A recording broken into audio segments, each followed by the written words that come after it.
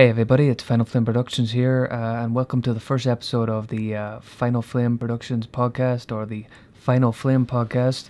Uh, it's me, uh, Steve from Final Flame, and we've got uh, JC for Life um, with me as well. He's going to be my uh, co-host, and he's going to argue with me and tell me I'm a, an idiot, or agree with me and tell me I'm a really intelligent person. I I don't think there's going to be a lot of that though. Um, so, JC, so. so JC, if you want to give a little quick intro what your channel is about, yeah, I'll link your channel in the description as well, your YouTube channel. Sure, yeah. Uh, I uh, also play games on my channel. Uh, usually two to four days a week, I play PGA 2K21. Uh, the other two days a week, uh, I should say it's Monday, Tuesday, Thursday, Friday. Uh, I play Art of Rally on Wednesdays. Uh, live on Twitch, twitch.tv forward slash JC for Life. I haven't nailed down a consistent schedule there yet, but I do play a variety of stuff there. So if you're interested in gaming at all or just want to hang out, chill place to do so. Cool. Uh, well, this podcast is going to be uh, a little bit of bit, a little bit of everything: uh, movies, gaming, wrestling, some other sports, um, and hopefully the uh, podcast on YouTube. I can. I'm gonna set out uh, the topics that you can skip on, and if you want to look, uh, if you want, if you want to look at uh, a certain topic, uh, there should be the option at the on the timeline of the uh, the video. Uh, but we're going to start off uh, with uh, Mortal Com- Kombat uh, 2021. The movie was released, uh, I believe it's been two or three weeks ago or something like that. Like that at this point, um, give our discussions, uh, talk about the response it's got from fans and critics. Um, I'll start off and generally say I, I love the movie. Uh, I'm actually not that. Uh, I'm not that big, big of a fan of Mortal Kombat in the sense that uh, I wouldn't know uh, the ins and outs of everything. Like some people would be able to just rhyme off uh, character names, all the character names, and what their special moves are, and all that type of stuff. I'm more of a casual fan. I've obviously seen the old movie, uh, played some of the games. Uh, so I generally came into it just kind of hoping. I, I seen the trailer, thought the trailer looked terrific. Um, the movie was just a lot of fun. Uh, you know, we, we've had we've had games to movies that you know have been a disaster. We've had mediocre ones. Um, I personally have liked a few of those movies in the last few years, like Tomb Raider with Alicia Vikander. Even the older Tomb Raider movies I thought were really good. I think there's a, maybe a little bit of um, a little bit of uh, what's the word? Uh, High expectations? Well, what I was going for is I think I think people are a little bit what's this, snobby about video game movies. I think I think people are precon preperception that they're going to be bad, and they they they give them a lot more flack than they need. Um, but yeah, I loved it. Uh, what was your take on it, uh, JC? Did, how did how did you enjoy it? I thought it was quite fun. I really, really enjoyed it. First things, uh, I wanted to just say right off the bat, like maybe I think you're a little bit right that you know, like people do have a reasonable, like it's reasonable for them to think that you know, oh, it's probably going to be a bad movie because, like you said, there's a track record of game to movie adaptations being bad. So Yeah. that's completely understandable. But at the same time, like I, I think it's definitely worth giving this movie a chance. Because I think you hit the nail on the head whenever you said it yourself, and I'm if I find myself in the same boat myself, like I'm not a super hardcore Mortal Kombat fan. I haven't really played much of them since the original trilogy. Yeah. I did play what was it Mortal Kombat Nine when it came out Okay. which kind of which kind of soft rebooted the franchise in a way that kind of is a little bit Terminatory, but well, we're going to be talking about that later, so let's Yeah. maybe not dip too far into that. yeah. But uh, you know, I think it it's definitely hit with a lot of fan service that I feel like it needed to hit. There, like aside from maybe one or two characters, a lot of the, a lot of the cast were from the original trilogy trilogy of games. There was nods to other people Yeah. in the move in the Mortal Kombat universe who didn't appear in this movie, so maybe they might appear in a possible sequel. Like, there's enough there for fans of the game that they know what they know. Like, oh, here's the part where I'm where I'm supposed to like laugh because I'm just like I understand this. I recognize this from the games. Yeah. Like, I think maybe maybe if you did, if you came into this and you didn't know Mortal Kombat whatsoever, you had like zero degrees of like knowing the universe. Like you came in, you haven't played any of the games, you don't know anything about it. I think there might be like a different set of expectations there, but you know, as a like, what was it, an hour forty? It Something like that. that? Yeah. I think, But like for those for that hour forty or something, it's just it's just a good switch off your brain, have fun sort of movie. yeah. That that's that's kind of what I was gonna say. Um, I was people were talking. People were criticizing some of the plot points and some of the lack of character development. Um, and I felt myself saying, like, why are they why are they setting those standards or why are they going into that stuff? Because I feel like this because I don't want to be one of those people that say the video games are dumb and that, you know, if there's a movie it's gonna be dumb. Because I think there is some smart video games like uh I mean, I love Uncharted. I, I think those characters are as good as any movie you're gonna see. Uh, Metal Gear Solid is is nuts, but in terms of epic scale and you know some of the visuals are just amazing. Uh, so I don't think games are, inherently dumb, but Mortal Kombat itself is a pretty basic thing that people like about it. It's it's interesting, kind of large in life characters kicking each other's ass with a cool soundtrack. And of course, I, I actually do think that this movie does elevate some things above that because I think that the Scorpion character and Sub Zero, uh, that opening is at 15 minutes, something like that. It's I I think it's superb. I think it's if you didn't know it was Mortal Kombat, you would like, what is this movie? It's it's, it's awesome. Um, so I think that stuff is just amazing. I I even think that uh, you know the Sub Zero in general, his character, he, as we said, but we're going to talk about Terminator, but his character shows up like this immediate threat that you're just like, what the fuck are they gonna do? Because this guy is really scary and he's really, really well delivered. So yeah, people are nitpicking. These are the same people that like the original movie, which I like as well, but it is a cheesy, dumb movie. So I don't know why they're Yeah. they're holding standards for this new one, uh, and maybe not for the older one. What What do you think about that? Uh, do you think that people are looking too much into looking for character development and stuff like that, or what do you think? I think you're right there. They are looking for too much of that. Like you have to remember that Mortal Kombat started as an arcade game. Like they're like sure it had home console versions, but it's extremely rooted in arcades. Which means like up until the fourth game that came out in that series, there was virtually zero character development going on Yeah. because you had maybe like a splash screen going into the arcade mode after you pick your character with like maybe like a half of a paragraph of text telling you like who they are and why they're here. And then uh, maybe the same amount uh, as an ending after you complete the game. And you know that's there's no real character development that you can do there because you you've only got like w- like maybe a one or two screens worth of text to build upon.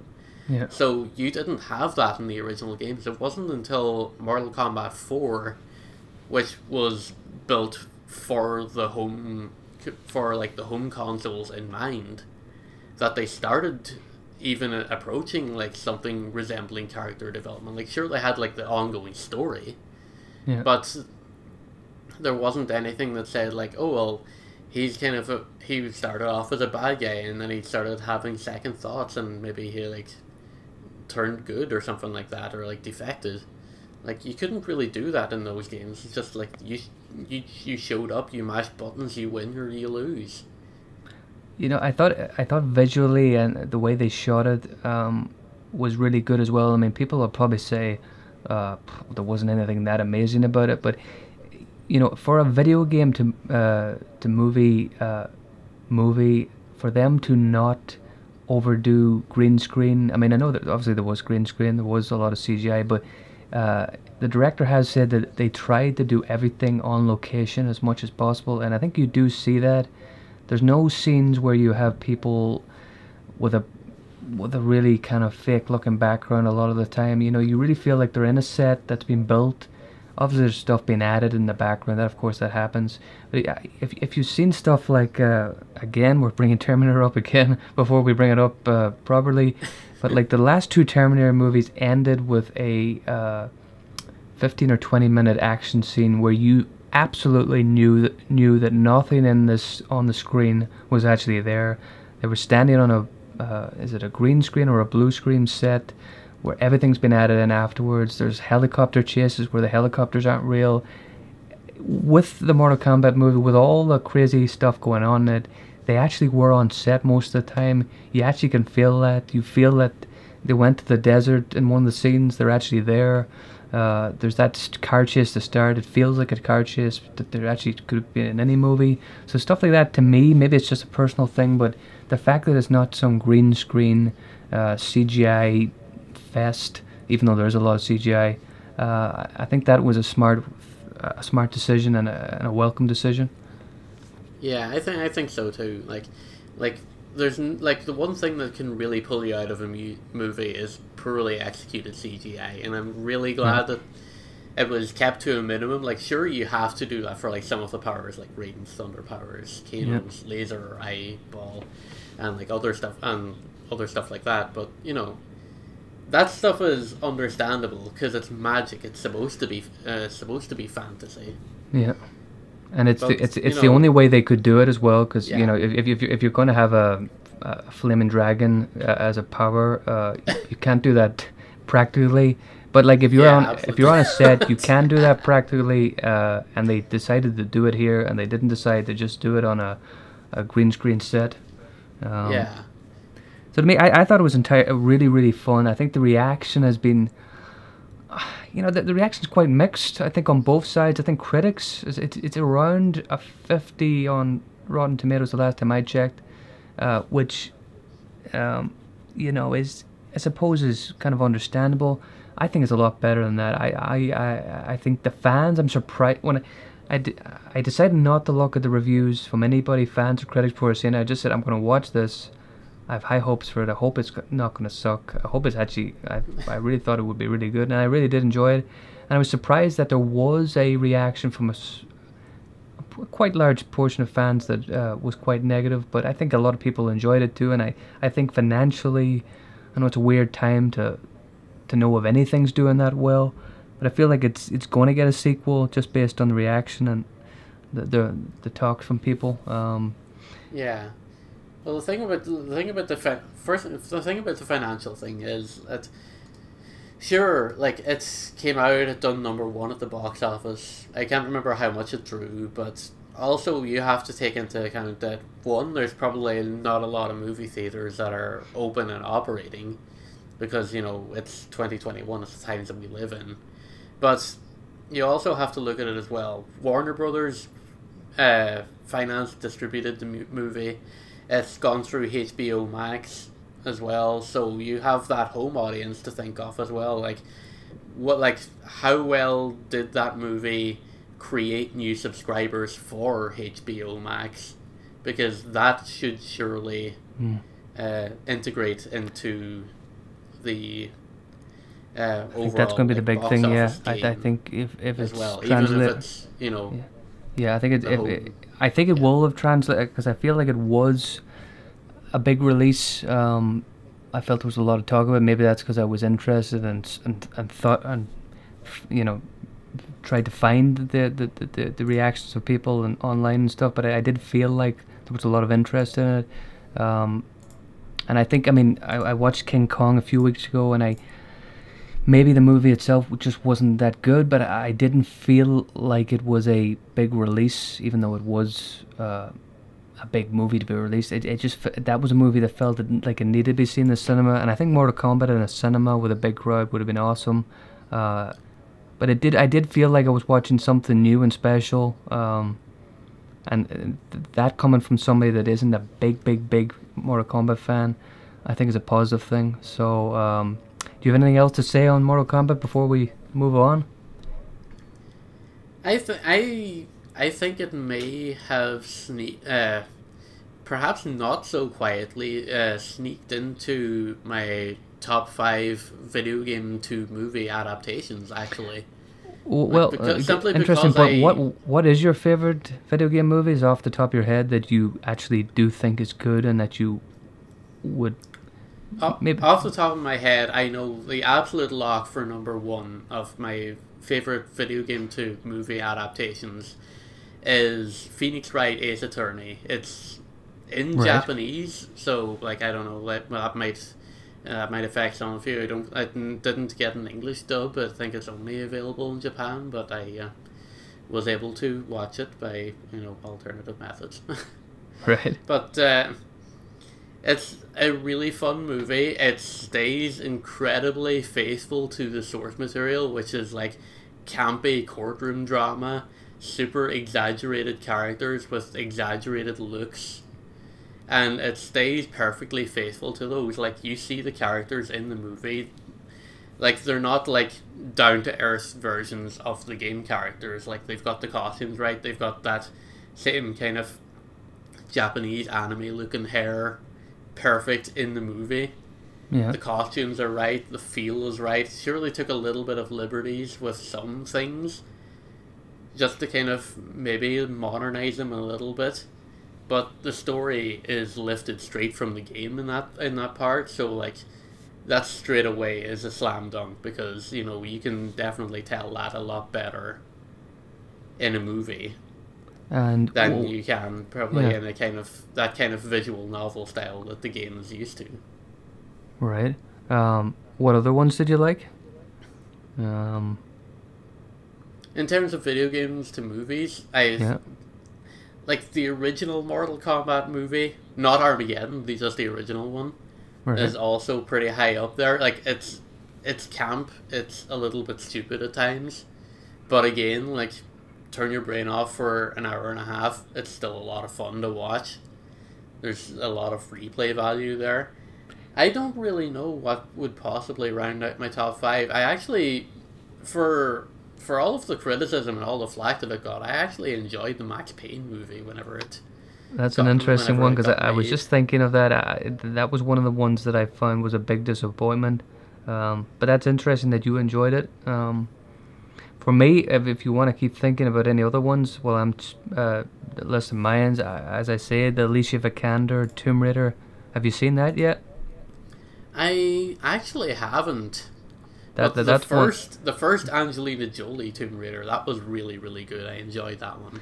Yeah, I, I think that's really underrated. I mean, it, it's not a like neither are you know five star movies, but I, I just think they're really solid action adventure movies. Um, uh, what else did I like? Um, I thought the two Hitman movies were flawed. Um, you know, they they it's a it's a I think it's a tough and an easy game to try and get together uh, or, or make a movie out of Hitman because I feel like it's not that hard to crack that. Um, but I feel like on both both movies, Hitman uh, with Timmy Olyphant and the Hitman 40 Agent 47 with I forget that actor's name. Uh, I think both of them got stuff Olyphant? right, and they messed up stuff on both of them as well. Um, I, I thought the Warcraft movie. I, have you seen that, James? I thought that was terrific.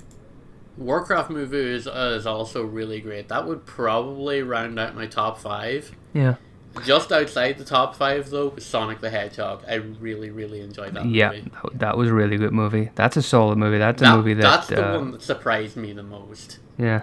Um, another one, as I just thought of, there is the. Uh, again, it's a flawed movie, but I think the first Silent Hill movie. Have you seen that? I, I think that visually, if, if forget about everything else about it, visually, it's really a beautiful movie. Like, I mean, Silent Hill is visually a really interesting game. Like, uh, I think, I think a lot of directors who, movie directors who pride themselves on interesting visuals would be would be really, uh, or people in general of art of anything like the, the Silent Hill games are are scarily beautiful. Uh, just that really creepy kind of uh, mysterious um, location that game set, and I think the movie delivered that really well. That I think that's an underrated one. Um, uh, I didn't see the sequel to that, but the first movie. So there's a few of those that I think are. I mean, people keep. As I think the problem I have, I know there's a lot of bad video game movies, uh, to movies, but I think there's some really, really solid ones. Maybe no five star movies, but um, I yeah, think more. definitely not. I don't think. Yeah. Um, but yeah, I, th- I think uh, I think we'll leave the Mortal Kombat discussion there. In the comments, let us know what you thought. Um, uh, were you do you agree with us that it was a fun movie, or do you think uh, it was a disappointment? Let us know. Uh, next on the chat here, we're going to talk about the Terminator franchise. If you follow my channel before, I'm a big Terminator guy. Uh, it's been a really controversial few years for the franchise because the last two movies have been, uh, what's the word for it, a disaster. Uh, you've had uh, Terminator Genisys that was uh, an actually pretty financially okay movie because China pushed it up uh, in, in a respect that it actually did pretty well worldwide. Terminator Dark Fate was released, uh, I think, was that 2018? Could be wrong, 2019 possibly. I think it was 2019. Um, it was a financial disaster, uh, and the franchise at th- this point is really, I don't think anybody knows where it's going. Uh, a lot of people say it shouldn't go anywhere. Uh, but generally, what I want to speak about is where did this franchise go wrong? How could they mess it up so royally? In my opinion, the first Terminator uh, was a really simple but really uh, still hold, holds up today. Maybe visually they could. I know people hate remasters and they hate people uh, like George George Lucas going in and changing and adding stuff uh, after the fact. I think that's a movie that if they fix some of the uh, visuals, uh, maybe reshot a few scenes, it would uh, still hold up a lot. But in, it, maybe that's just me uh, talking nonsense. The movie itself still holds up as a great uh, sci-fi horror movie. The sequel, Judgment Day, was an uh, was a different but faithful, I think, movie. Uh, it, it was a lot more action based. It was a little bit more lighter. Still a lot of violence in there, but you had Arnold Schwarzenegger becoming a big, big action star. You had Robert Patrick as this amazing villain, and the, it just was a, you know, even if you prefer the original movie, you gotta admit the second movie really did feel like a home run and possibly one of the best sequels ever made. Terminator 3, for my for my liking, was a solid sequel. It got a lot of flack at the time, but I think if people were to see where the franchise was going to go, they'd probably, like I do now, kind of sit and go, Terminator 3 was probably the best sequel um, since Terminator 2. And then you have Salvation, which was a uh, kind of odd movie that kind of, uh, you know, you had the Christian Bale rant on set that kind of became a, a thing, really probably nothing to do with the movie, but it, it kind of set up that maybe this movie wasn't going to be good. I personally think it's quite a bland movie, but not a bad movie. And then the franchise um, went on to uh, uh, Genisys, which was a really uh, bizarre kind of. Um, it was a bizarre, uh, kind of campy franchise uh, movie that was all over the place. You had, you know, attempts of humor that were bizarre. You had changing of the cast, like Jai Courtney as uh, as Kyle Reese was bizarre. You had Emilia Clarke, who's an okay actress, but she became she is not Linda Hamilton. Um, and the movie was weird. It was fun if it wasn't Terminator because there's a lot, there is a lot of fun to be had. The action's fun, um, but it's a weird, weird movie with a lot of missteps. And then you have Dark Fate, which, for my money, uh, the killing of John Connor in the first ten minutes was a bad move. It alienated fans. Tim Miller and James Cameron, uh, some of their stuff, their arguments off. Uh, or after or on the release of the movie suggested that they had a lot of arguments fans didn't like it the box office was a disaster my question is where did it go wrong how could it go so badly wrong why out of all these sequels could they not sit down and get somebody that understood the first two movies um, or even look at the third movie and say themselves, uh, you know, th- that movie was, you know, rehashing a lot of stuff, uh, but respecting the, the original movies the most of all the sequels. Um, what do you think, JC? You've you've seen uh, you've seen most of the sequels. You haven't seen Dark Fate, the last one. Uh, where do you think they went wrong, and how could they mess it up so royally? And what did you think about the Terminator Three, Salvation, Genisys? It's a it's a tricky one for me because I haven't I haven't seen uh, I haven't seen Salvation pretty much since it came out. I haven't gone back to watch that again. That probably says a, that probably says a lot. because again, uh, I just have personally speaking, like I don't have I just have this thing where like I don't really re- rewatch stuff that I've seen before. But Salvation is definitely not one of those movies that I'm not in a hurry to ever rewatch again. Yeah. I yeah. just think that was just dour. It was it was a poor attempt at the franchise. I think what is going wrong I may I may be wrong here, so please feel free to call me out in the comments, but I think what's going wrong is too many people are giving are being given a shot here at writing a Terminator movie and like trying to deliver that because the franchise is in an extremely unique position because of because of the because of the plot of it. Like it's okay. They can release a bad movie that can still do well in the box office. But because they have the whole time travel part of the, you know the entire plot is like pretty much based around time traveling robots from the future coming back to the past to try and alter the course of history that they can just complete they can just go back to before the bad movie happens and try and retcon everything that happens in it. Yeah. And then another they make another bad movie trying to do that, another bad movie trying to fix the bad movie that tried to fix the bad movie, and it keeps it keeps escalating from there. Because they can get away with it. Like they can't just sit down and and say like okay we actually have to do a good one of these i mean they do eventually because sooner or later you know fans like ourselves are going to get tired of it and like well the last couple were bad then this clearly has a track record i'm going to wait for it to come out on a streaming service or blu-ray or something like that and not go see it at the box Yeah, office I, I, I, I think And that's, a big thing. to- Um, tell the production studios that you know we're not interested in this anymore and eventually we're not going to get any more yeah, I think that's a big thing that you brought go up.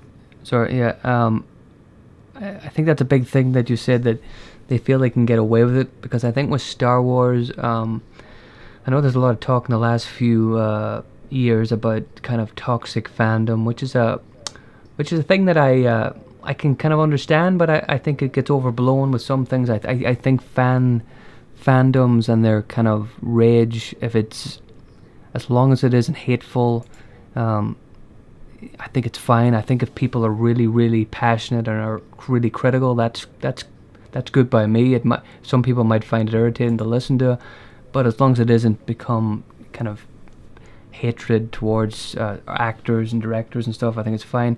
But I think with Star Wars, if they do a really terrible Star Wars movie, the fans will go nuts and they will hold people to. Uh, uh, hold people to that and they, they will not want those people back. And in one way i guess terminator that's happened too. But i feel like as you say they feel they can get away with it. Um, i don't think there was a pressure and in the last three movies to get it right or to see what they've done wrong. Um, you know you, just can't hire just anybody to make a movie to try and recreate what was good about the first two movies. Um, you know, you, you look at something like um, even Mortal Kombat. We were talking about Mortal Kombat and how Sub Zero enters the movie and him walking down the street and uh, using his powers to fire uh, ice and stuff. You know, okay, okay, no Terminator is going to be uh, using ice powers, but generally that feeling of this this kind of really threatening uh, villain pursuing the good guys that's what Terminator is all about. That's it's a very basic element of those movies. Uh, the, Terminator Dark Fate um, didn't get that right at all because the the, the, the, the, the villain himself did, was, uh, to me wasn't that threatening. I mean, they, they felt like I think they thought they had this threatening villain, but they really didn't. I mean, Robert Patrick was such a great casting because he he done so little, but and uh, what I mean is that he didn't do anything flashy. Uh, he wasn't his character didn't have to do anything, whereas Arnold Schwarzenegger, uh, you know, is such a yeah, such a, a large. yeah, it's a real contrast when you look back at Terminator Two. That the idea that like these two robots are going head to head with each other, and yet Arnold, the robot from the first movie, uh, is suddenly having to learn some sort of humanity to him, whereas. Robert Patrick is the T one thousand. He's coming in and he's acting like super like super robotic to the point where like he has like like he's obviously been programmed with like the mission to terminate John Connor and you know he nails that role perfectly because he acts so wooden and so stiff but that's the entire point is because that's what the, that's what the T1000 was programmed to do. Like he's not supposed to be flashy. He's not supposed to he's not supposed to uh, what do you say? Show any like signs of humanity or anything. Only just enough to enough to pass as if he's in disguise so like he doesn't but then again that's that wouldn't be robert patrick then. That would be just like the stand-in character that you know is filling in. So like obviously that's not going to be him playing the role of someone that he's morphed into. I think there's a there's a thing about the Terminator 2 especially that you know it's it's one of those scenes that I think if any director uh, is trying to make a Terminator sequel that they should look at this one scene. It's the scene uh, where Robert Patrick uh, and Arnold meet for the first time, I believe, and it's in a corridor. It's in this really simple corridor, and both of them start shooting at each other, and then both of them start fighting each other. Uh, and you know there's no throwing of characters into the sky. There's no they do smash through a wall. Isn't a wall i believe? Yeah um, they smash through a wall. It's in an yeah, arcade. Yeah but like there's no uh, there's no cgi they couldn't do it at that time anyway if they wanted to uh, there's no cgi uh, ragdoll uh, stunt car they don't you know, the, no, no, character needs to be thrown into through 20 planes of glass out of a skyscraper landing through buildings. It's just two people on the ground, or sorry, two Terminators on the ground fighting each other. It's simple. They, even when the uh, the, the T1000 gets shot, uh, they they put tinfoil. I think I believe it was something like a tinfoil. Uh, uh, prosthetic uh, thing to show the the the bullet wound and the T one thousand simple stuff like that. You know, it wasn't flashy. Then you go and you look at, as I said earlier, uh, it, when I was talking about Mortal Kombat, you have uh, in in the last two Terminator movies, Genisys and Dark Fate. You have the last twenty minutes are these uh, CGI fests of just lazy. I mean, I, I, I, like CGI. CGI is is amazing. It's it. Terminator Two was such a, pioneering. Uh, kind of start for CGI because people had not seen stuff like that, but it was used minimally. Then you've got Genisys and Dark Fate, where the last two fight scenes, you've got a CGI environment, none of it's real at all. You've got Arnold Schwarzenegger being used as a CGI double, been thrown around, none of it's believable. So my point is, when you look at those first two movies, sure those movies were lower budget and they had restrictions on what they could do, but no person making a Terminator movie should be getting that far away from having two characters on the ground fighting simply, no uh, overuse of CGI. But they don't seem to get that. Uh, again, as I said, there's a you've seen Genisys. Do you remember the terrible helicopter chase where everything's CGI? The helicopters aren't real. Um, to me, it's um, that's a big thing, and the reason why these movies just do not feel like good Terminator movies or good action movies.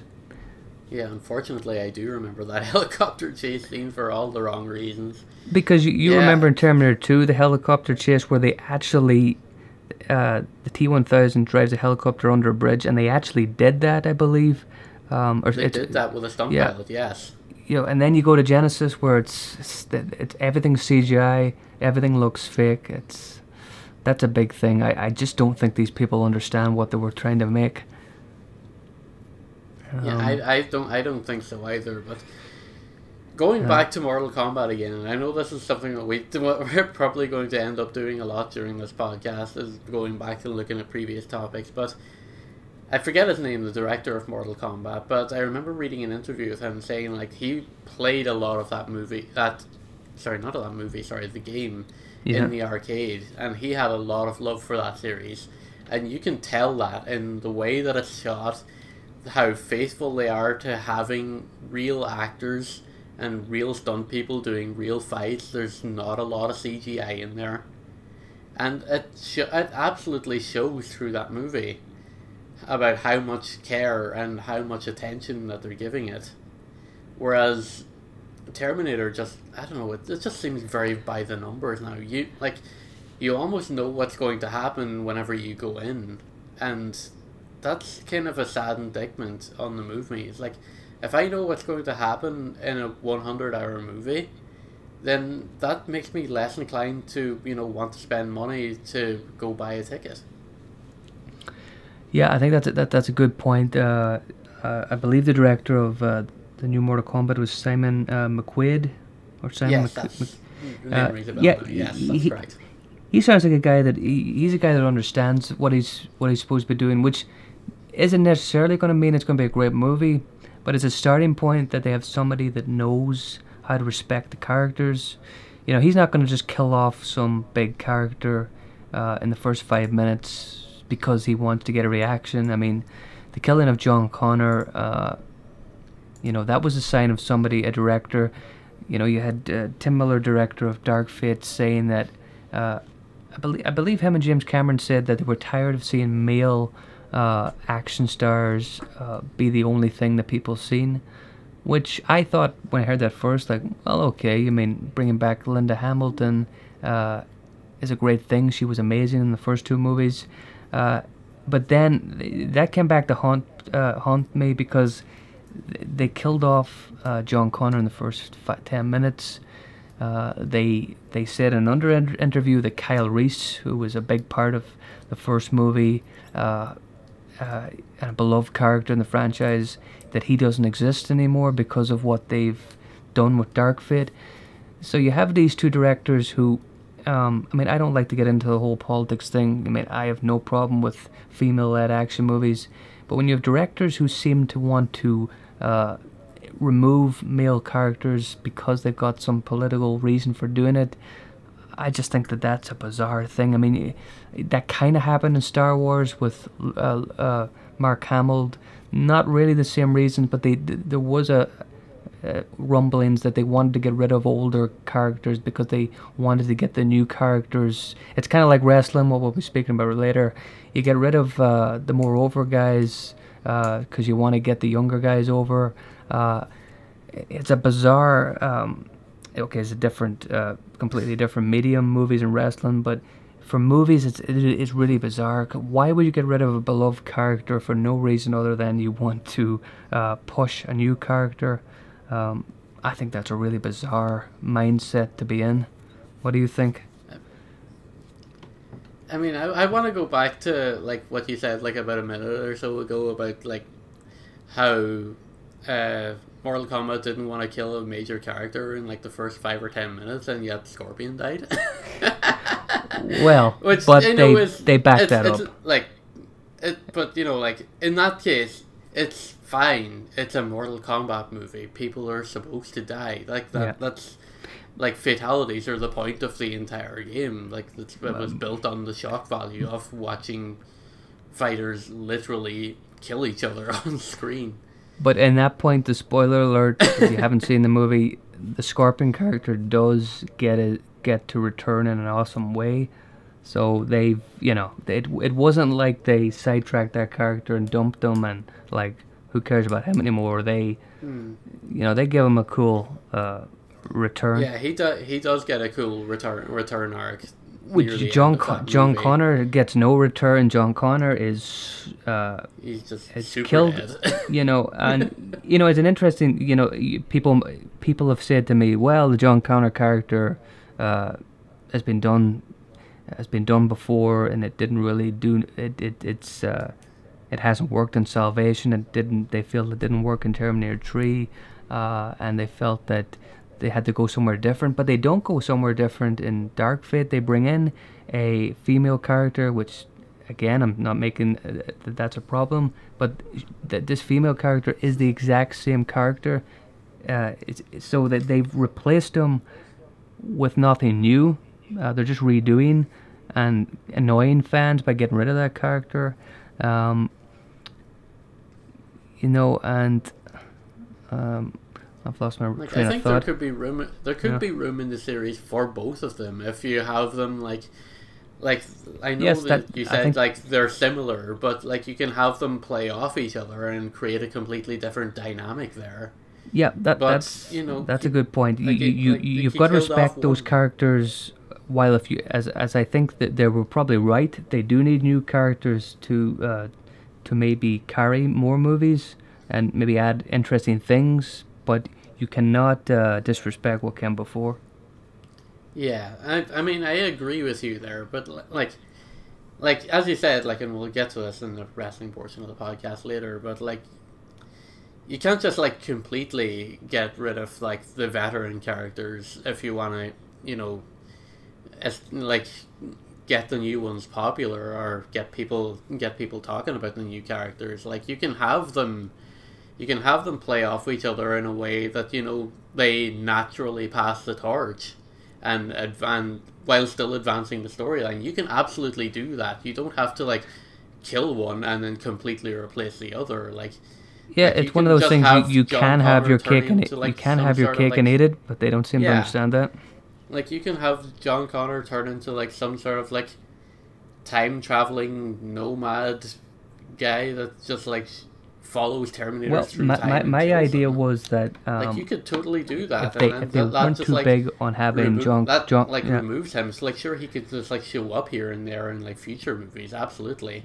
Yeah, that that was my mindset. That if they wanted to have a new character, a female character, be the centerpiece of Dark Fate, uh, that John Connor could still be there. He could be a smaller character that is talked about, but then shows up at the end of that movie and helps out uh, our Arnold Schwarzeneggers, our Linda Hamiltons, uh, and that means that everybody gets what they want. If the directors want fresh new characters, maybe a female character, they can have that um, and the people, the fans that don't want to see their favorite characters getting, you know, removed, get what they want. But uh, it's, I think that's a big thing with Terminator is that I don't feel like they know what uh, people fans liked, uh, and you know, you listen to James Cameron. I think he's fascinated with his Avatar movies, and I don't think he. Well, obviously he wasn't on. He said he wasn't on set nearly at all for Terminator Dark Fate, so he didn't really care about that that movie at all. Which you know, Yeah, like at this stage, I think the I think the franchise is just in the bin for him, and he's just like moved on. Yeah. It's just like okay, well, you can you can do your own thing, but I'm like completely disowning everything you do in this future timeline. So like you can do your own thing and completely separate it from the project. yeah, Which you know I can understand like if he's disappointed or like anything from like what they've done since he left the franchise, and like only just came back in like a consultancy role. Like I'm sure he had like plenty of useful input into like where to where to bring the series or what direction they move in. But when they're writing these movies from one to the next, they're not writing with anything long term in mind, and you can tell that. Yeah, Because it- if if they had something in mind for like two or three movies down the line, you know, they would build for that. They would make that into a big moment. They wouldn't just throw away the killing of John Connor in the first five minutes of a movie. Like they would build, they would build up to that and like have him in like a much grandiose fight and have him lose, and then that sets up the cliffhanger for another movie, Yeah. which would be the redemption arc for like whoever is going to avenge his death. I mean, I think know, there's a doesn't there's make a quote there's a quote that sums up this all great uh, terrifically. It, it, I think Tim Miller, Tim Miller, who directed the last movie, he said that um, he didn't want John Connor to be around because it's like it was he he spoke about him like he was uh, a distracting sort of uh, relative that you just didn't want to have around at a wedding. He's like, we got to get rid of him, uh, so the new characters don't have to be overshadowed by him. Which is such a bizarre mindset. I mean, it, it's kind of like Arnold Schwarzenegger in the new movie only shows up for the last 40 minutes, maybe 30 minutes. Uh, is another decision, you know, that you, you've maybe that was kind of understandable if you, if you wanted to give him a smaller part, but you know, again, he shows himself. I mean, we, we, we, if you if you're into wrestling, you know, larger than life, older stars that uh, are still popular. I mean, Arnold Schwarzenegger is the best thing about the last three movies. Um, and his his I think he, obviously he's getting older now. I mean, if they do make a movie in five years, he probably won't be able to be in it. Um, but I think his his loss to the franchise is a big chunk of it because I think he was a big part of the personality. Uh, his just general kind of presence in movies is terrific. Um, you know, I would always say if Arnold Schwarzenegger is able to be in a Terminator movie, he should be in it if it makes sense and if it's if it's if, if it's possible. Um, but yeah, I think in the future we're going to talk about uh, how you could reboot Terminator. But I think unless you want to say anything else, JC, we'll go on to the next subject. No, I think I've I think I've said my pieces on Terminator at least for one day anyway. Okay, James. Um, uh, next we're going to talk about we're going to just touch on uh, Days Gone 2, which was a big conversation the last while that. Uh, It sure was a conversation, all right. yeah, there's been a lot of stuff going on. Uh, um, talked about it. Um, I personally thought the perception of the game the last uh, six months or so was really started to rise, and I thought, you know, that that- with all the kind of uh, bizarre, not not bizarre, but all the kind of questionable sequels that games have gotten the last few years, I thought Days Gone 2 was definitely going to get one. I thought, you know, the sales are good. I don't know the sales off uh, offhand here, um, but it did sell well. Um, th- they've said that the sequel isn't going to happen because they felt that the release of the movie was lukewarm, that uh, critics uh, didn't respond well to it, um, and that, that the movie, or sorry, that the game is not going to get a sequel. To me, I think that's a bizarre thing. I think if you look at the the response to it, you look at the interest in the PC uh, port, which is coming quite soon. Um, to not give it a sequel is uh, is bizarre in my opinion.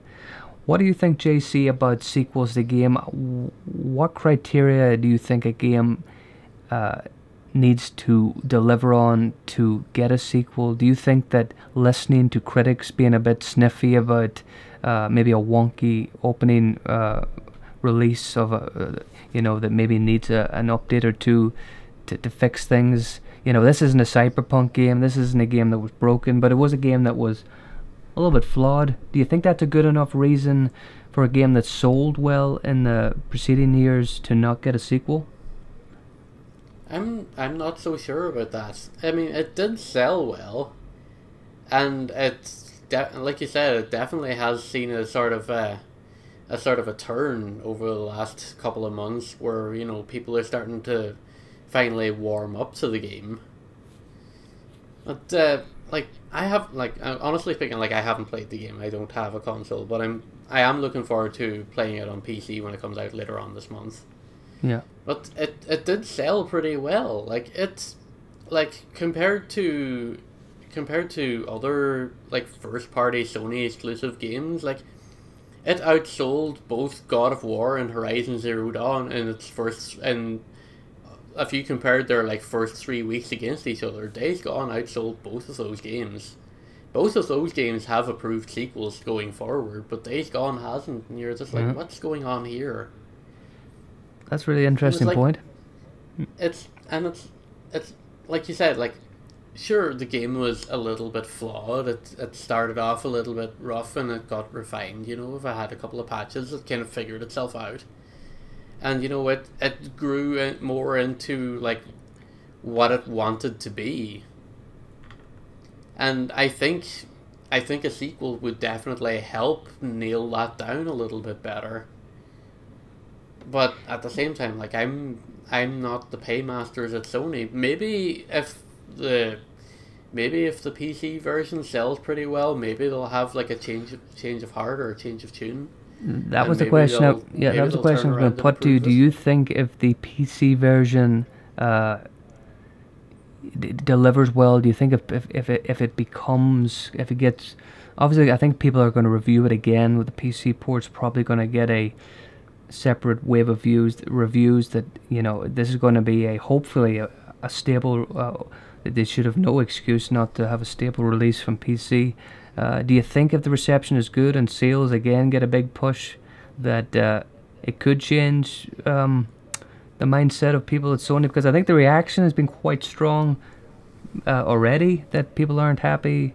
I think that's all. At the end of the day, if they see money signs, they're going to go back and. I believe. I think if it gets a good release on PC, that, that they'll they'll change their minds. Yeah, I do think I do think so.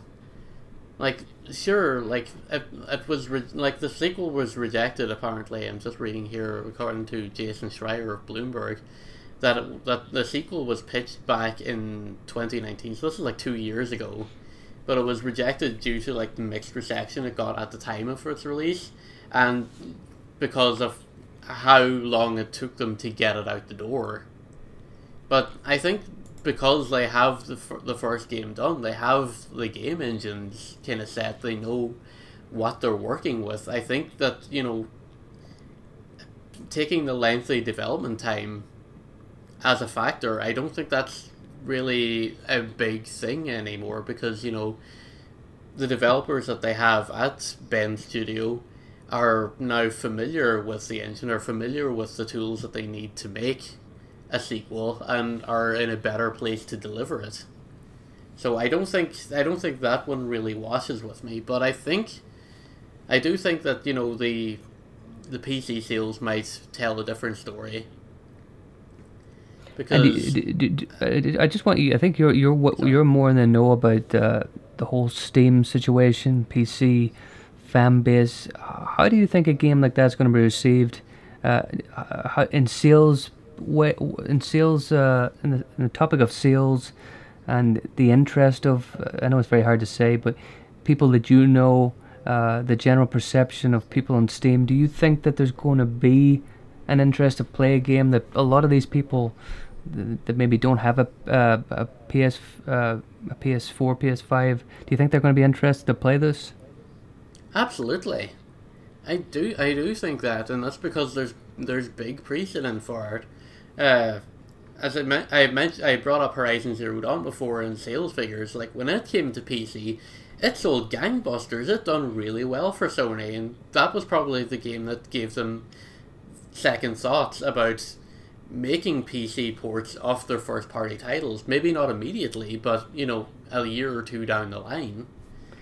Death Stranding also done very well for them, even though I mean it wasn't Sony that published the PC version, but that was a PS4 exclusive game, and Sony helped finance that game. It came to PC like seven or eight months after the PlayStation version came out, and again, it sold really well.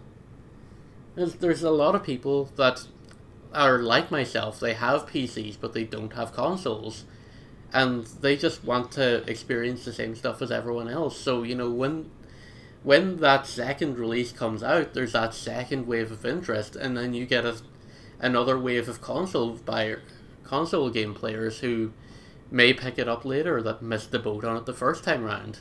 So it definitely does help. Yeah. Um, I, I'm just thinking mods as well. I mean, if people are going to be able to replace the zombie characters and the hordes, I mean, I think that could be a really exciting mod to have like. There's uh, definitely potential there maybe, for sure. Maybe but I don't two... even I don't even think mods have anything to do with it. It's really down to, and th- you're going to see this a lot going going into the future, and definitely is starting to have an effect even right now. Is streaming the game, like if it, like if popular streamers pick up the PC version, and they probably will because you know they already have powerful PCs that are able to not only run and play these games, but also be able to like render video and broadcast from these same computers simultaneously. Like it's gonna like there's gonna be a lot of people who are gonna be like out there streaming the game. It's gonna get popular on on Twitch, on YouTube gaming, on Facebook gaming even. And that's going to bring a lot of eyes in, onto the game that maybe might have missed it the first time around, or they were just like, okay, well, I don't have a console at this moment in time. I'm not super interested in this game right now because I don't have a means to play it. So now that they do, maybe that will generate some further interest that way. Yeah, it's it's it, it's it's it's going to be fascinating to see because I, I think uh, unless they completely, you know, make the same mistakes again and and release a, a really unstable PC port, which they have no excuse to do this time. Uh, if they deliver something good, and this game, uh, the PC version, uh, I don't know all the specs, but I, I know it's it's it's uh, its performance is going to be much better even than what the PC or the PS5 update is allowed. Um, it could look even more. It's going to look even more beautiful than it did on a PS5 on PS4. Um, so I think if people give it a, a chance, and I think the there's going to be a appetite with fans to push this uh, to do well, and of course, just generally, I think people are going to be interested to play this uh, really big uh, PS or PlayStation uh, exclusive game on PC. Um, yeah, I, I, think I think this is I think this is a chance for the, the, the if for people that, that, want the sequel that uh, if this goes well they, they could very well change the tide, um, and I hope it does. Um, and I think it I think it's I think if fans want I, I always feel the, the way if, if, if fans want a sequel to something and want to see more of something uh, and especially if there's a lot of big sales, I think they should get it. And uh, obviously, the people, uh, based on Twitter, the people that made the game, they obviously want to do it. So it's not like they're sort of being forced to make a sequel. Like a lot of stuff, like movies get sequels that you know the people the people are just doing it for the money. I think these guys at Bend Studio they really wanted to do it. Maybe they re- need, need to rethink their pitch idea. Maybe that needs to be changed and probably they might admit to that themselves. Um, but yeah, hopefully this isn't the last we hear of uh, Days Gone, and uh, hopefully we can look at the uh, the release of PC in a few weeks' time and see uh, how people are taking to it. Um, but yeah, we're going to go on to. Uh, I think James, you have a topic you want to chat about next, so uh, I'll let you take away that. I do have, but just before we close the book on Days Gone, uh, can we just talk about John Garvin's comments a couple of weeks ago?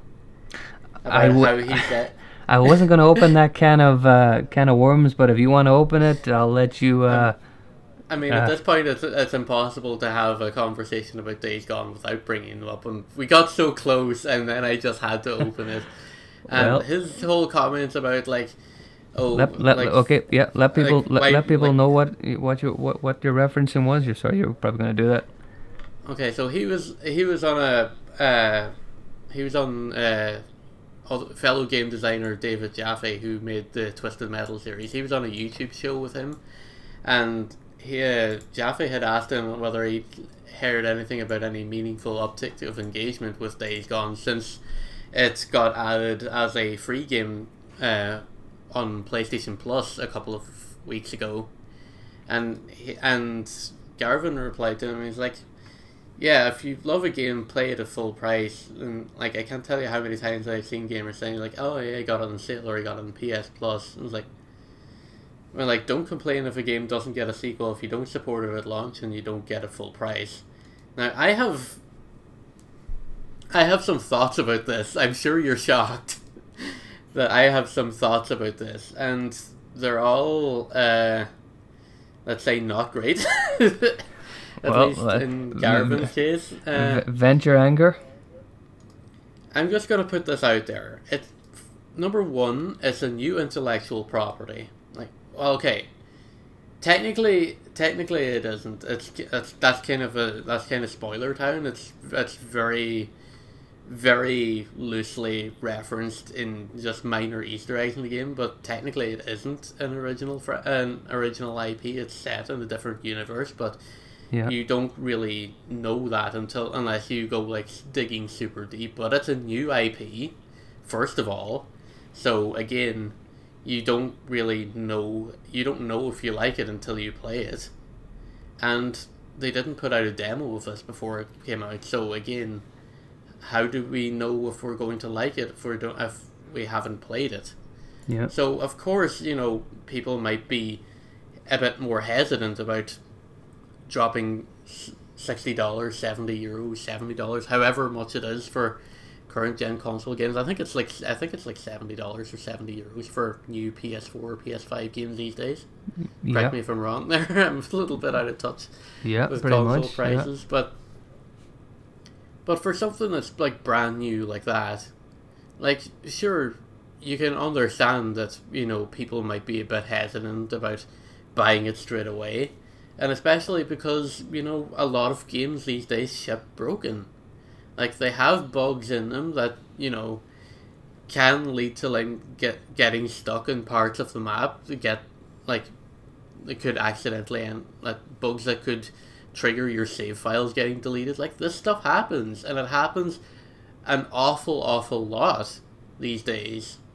And like games ship in these conditions. Of course, people are going to look at the precedent set by like lots of other games. Not even just saying like Sony first party games, because most of the time they are of extremely high quality because they have a high standard set for themselves. But again, like I said, it's a new franchise. People were just like, okay, well, let's maybe give it a couple of weeks, see what the reception is, and wait and see. And of course, like by that time, it's already gone down to like fifty or forty dollars because stores are looking to try and just sell the next big thing and try and free up inventory space.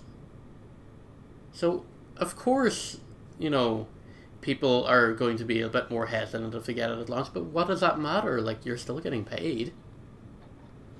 Yeah, I, I, I- think it's I, I can't really disagree with any of it uh, that you've said. Um, I think the way he, the way he phrased and the way he, he, he went about saying that was just a, a really idiotic and kind of I think the other people that work with Bend Studios pretty much pulled him up on it and said that it was idiotic and that they were happy that Yeah. that any uh, how, however you got to play that game that they're happy any way you done it.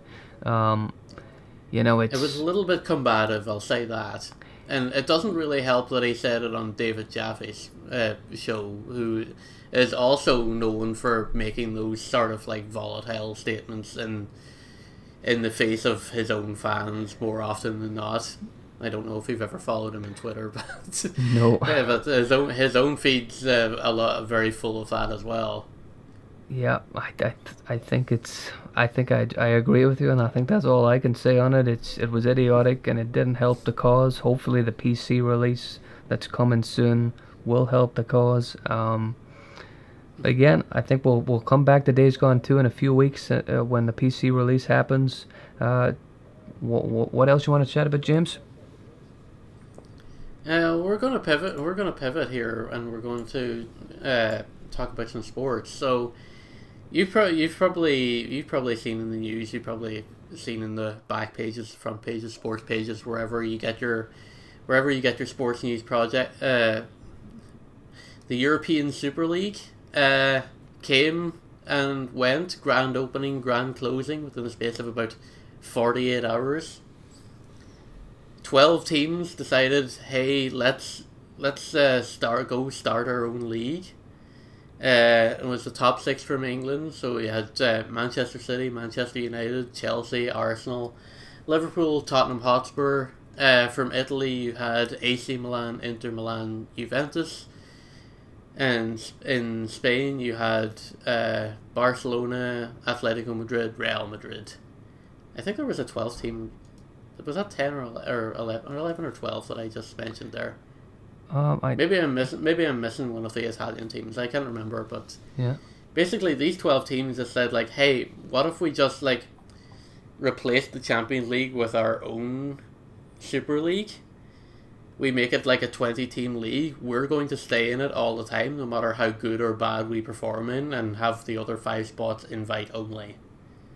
And they announced this midnight european time on a sunday night which is you know the perfect time to announce one of these things because you know that you're going to annoy your entire fan base and entire and indeed the entire fan base of the global sport. and they knew that this was going to be a bad decision, so that's why they tried to sneak out their press press decision at uh, press release at midnight. But so anyway, sports fans across Europe woke up to this on Monday morning. La- was it wasn't la- was it last week or was it the week before? I can't remember. I, was- I, I think it's it's, it's the passage of time these days is just whoosh. yeah. I think it's possibly written two weeks or a little bit more. It's, uh, it feels like that anyway. Maybe maybe I'm wrong. It's probably going to be about two weeks from the time this recording goes up. I don't know exactly when this re- when this is going up, but it'll be about two weeks from when you're hearing this. So, fans across Europe woke up to this and like, hey, what the hell? We didn't sign up for this. We didn't agree to this. Does this mean that we're abandoning our own domestic leagues to go play in this? And they threw a conniption. Fans across Europe uh, threatened to boycott their teams, uh, cancelled season tickets, protests outside stadiums all across Europe, even even protests at, at teams that you know had no say in the matter. So like uh, the night uh, the night after this announcement went out, Liverpool played Leeds in the league, and Leeds came out and were wearing shirts from UEFA that said "Earn it."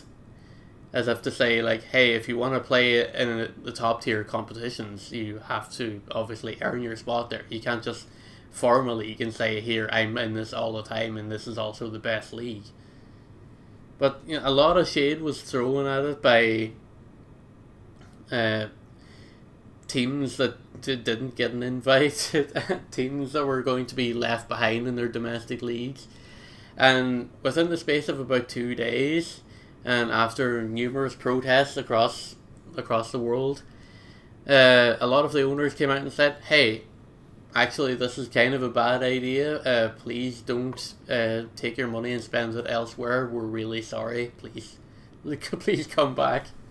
And so the entire league uh, was founded and disbanded within about a forty-six hour time span after all of the all of the teams except three uh, officially pulled out. So the teams that haven't pulled out so far, and I'll get into this. I'll get into this more in a second and what this means for them are Real Madrid, Barcelona, and Juventus. They're the only three teams so far that have that haven't uh, formally withdrawn their interest in the league or like have come out and said, "Hey, this is a bad idea. We're sorry." So first thing first, uh, I'm a Liverpool fan. You're a Man United fan. So, what's your take on all of this? And like, I know, I know Man United fans have uh, had plenty of battles with ownership since the since the Glazer family took over, back ten or so years ago. Uh, this definitely doesn't go paint them in a, po- in a positive light by any stretch of the imagination, but. No. But as a United fan, like, do you feel betrayed by your team at all? By their interest in splintering off and going off and farming their own thing? Well, I I have to admit that um, I mean I have a local a local team in Ireland that uh, would I would say is my team. So when I talk about you know passion for football, I mean I do love Manchester United. Uh, I do watch them. I have an interest. Um, I don't think I could be as um, I think you're a little bit different. I think you and Liverpool, you, you're a lot more into Liverpool than I would be into Man United. Uh, for me, um, I don't think I was betrayed. Maybe because I, it probably hit, isn't doesn't hit home as much as uh, my Irish team. Uh, you know, I just to me it felt, you know, obviously it didn't go ahead. Uh, whether it there's going to be a uh, whether that's going to be the end of the story, that's a, that's that's that's another uh, point completely. To me, it just felt like rich people that have uh, no idea, or maybe they, they do, but they don't really care. They have no idea um, about the real world. They they think fans are like uh, like little 3D models in a game. They're just not real things. They don't particularly care. Uh, they were going to do this because it was going to make them a lot of money. Uh, the history of the clubs wasn't a big thing to them. Um, so they could just trample through all that, you know, rip up uh, all these years of history for all these clubs and just uh, do this thing that was going to make them a lot of money. Um, and the reception is was the reception that you've seen, the protest, the anger, um, because there is real people. You know, as much as people can make fun of the Premier League and other leagues as being just kind of soulless. Uh, uh, you know, there's a perception at time they're soulless money making leagues that there's no that, that they've lost with all the money in them now that they've lost a lot of the, the heart and soul that was there. Um, the, the fan base still cares. The, the, those people that live in Manchester, those people live in Liverpool, uh, whatever club you want to name, those people care. Those people aren't just going to allow their clubs to be just turned into a, a kind of a, an even bigger money making uh, charade than maybe it can be at times. So yeah, for me, I, I, again, I, I don't think I got really passionate and anger about it uh, because I I, I kind of knew it was gonna, I kind of knew it wasn't going to really take off because you, you can't you can't just pretend that uh, that there was you, if you felt there was going to be no protests, you're an idiot. Uh, and if you felt you could just get over the protest and it would be gone in a few days, you're also an idiot. So uh, to me, uh, whether it's going to come back again, I, I, again, I just I don't know how they can they can mess with uh, millions and millions of human beings that care about their uh, history of the club.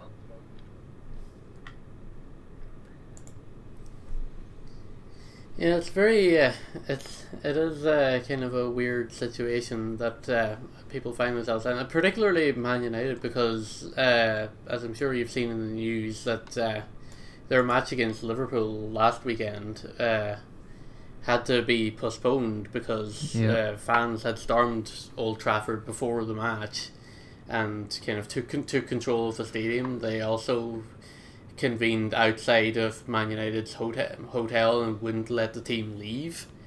Yeah. So there was also that. Uh, the referee for that match couldn't even get into the stadium. They had he had to be turned away by security and say, "Hey, it's not. It's genuinely not safe for you to be here. You need to go."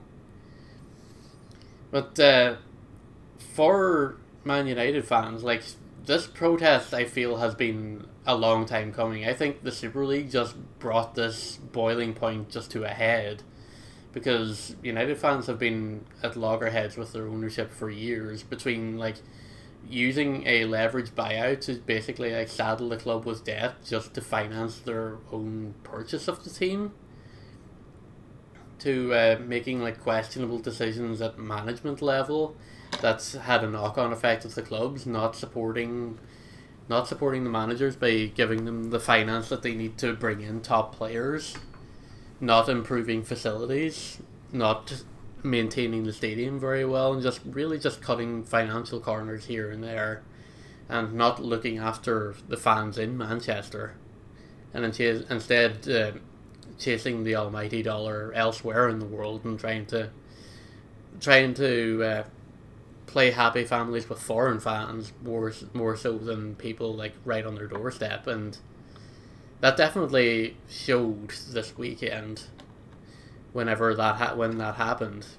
Because you know obviously it's not going to be it's not going to be tourism fans or day tripping fans that are making that sort of protest. It's fans within Manchester. It's people whose like their their homes their livelihoods are based in and around this club. And it would be a shame if something like that drastic happened to them.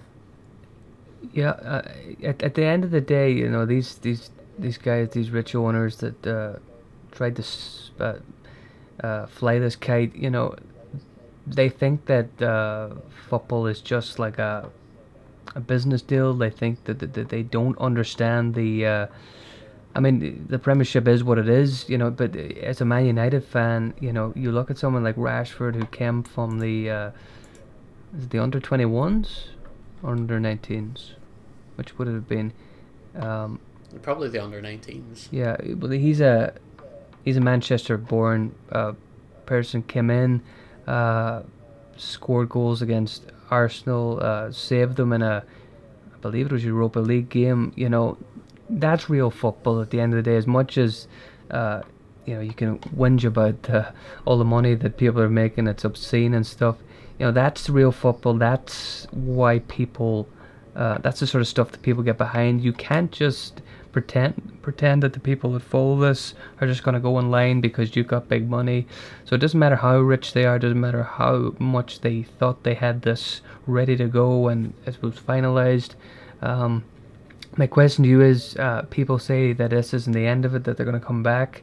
Uh, do you have any understanding of how, in the name of God, they could try to send seal this again after most of the clubs have uh, apologized their fans? Ah, Is it? Do you think it's possible that this could be happen again? And how is that even remotely possible?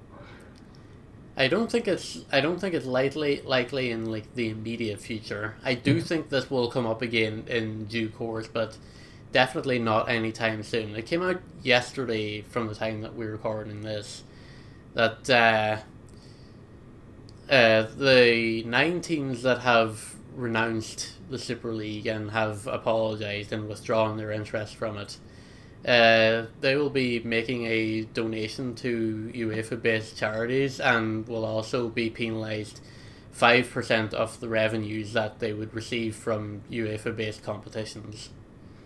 So like so like their Champions League incomes or their Europa League incomes would would take a 5% cut as a as a punishment from this. Now you might be looking at that and saying like well, how are they going to get if- How are they going to get cut at Liverpool? Liverpool aren't even going to be qualifying for the Champions League this year, but it will be out of like the next time that they qualify. Based like the like the punishment will apply then, rather than just the following calendar year. Now they have said that, for in the case of like I said, Juventus, uh, Real Madrid, and Barcelona, who haven't come out here yet. They have said that there will be further punishment for them, so they could possibly be looking at expulsion from the UEFA Champions League for at least one season, perhaps stretching to two. But uh, they're going to have convene uh, at UEFA at the end of the season after this year's Champions League final and decide what to do with them if they haven't if they haven't come out and put this whole thing to bed by then. There's another clause in the punishment that they got that if if they breach UEFA commitments and try and uh, set up an unsanctioned league again, that uh, they will be fined a hundred million euros Okay. uh, with immediate effect should should this happen again, which I don't think is nearly high enough It really isn't. to be honest with you, because these owners are billionaires. Like this is pocket change to them. Like, like we've had like you're talking to owners who think that you know signing Kylian Mbappe for 120 million euros is nothing. That he's that he's so important that he's worth every penny of that. Like, like what are you gonna do? Like, pay the fine that's the equivalent of one play one star player to them, and then just let them move on? Like, like that's chump change to these owners. Like, that's not really a punishment.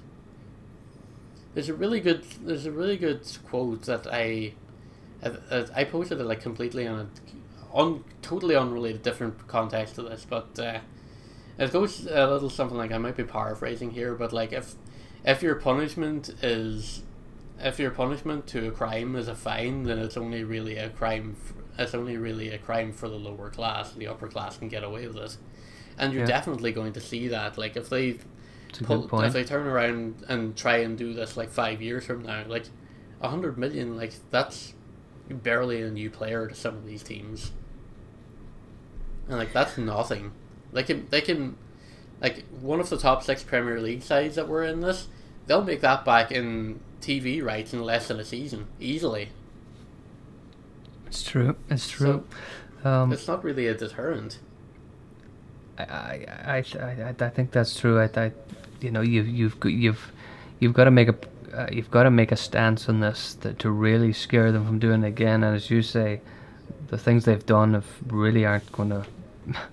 They're not going to put fear into any of these people.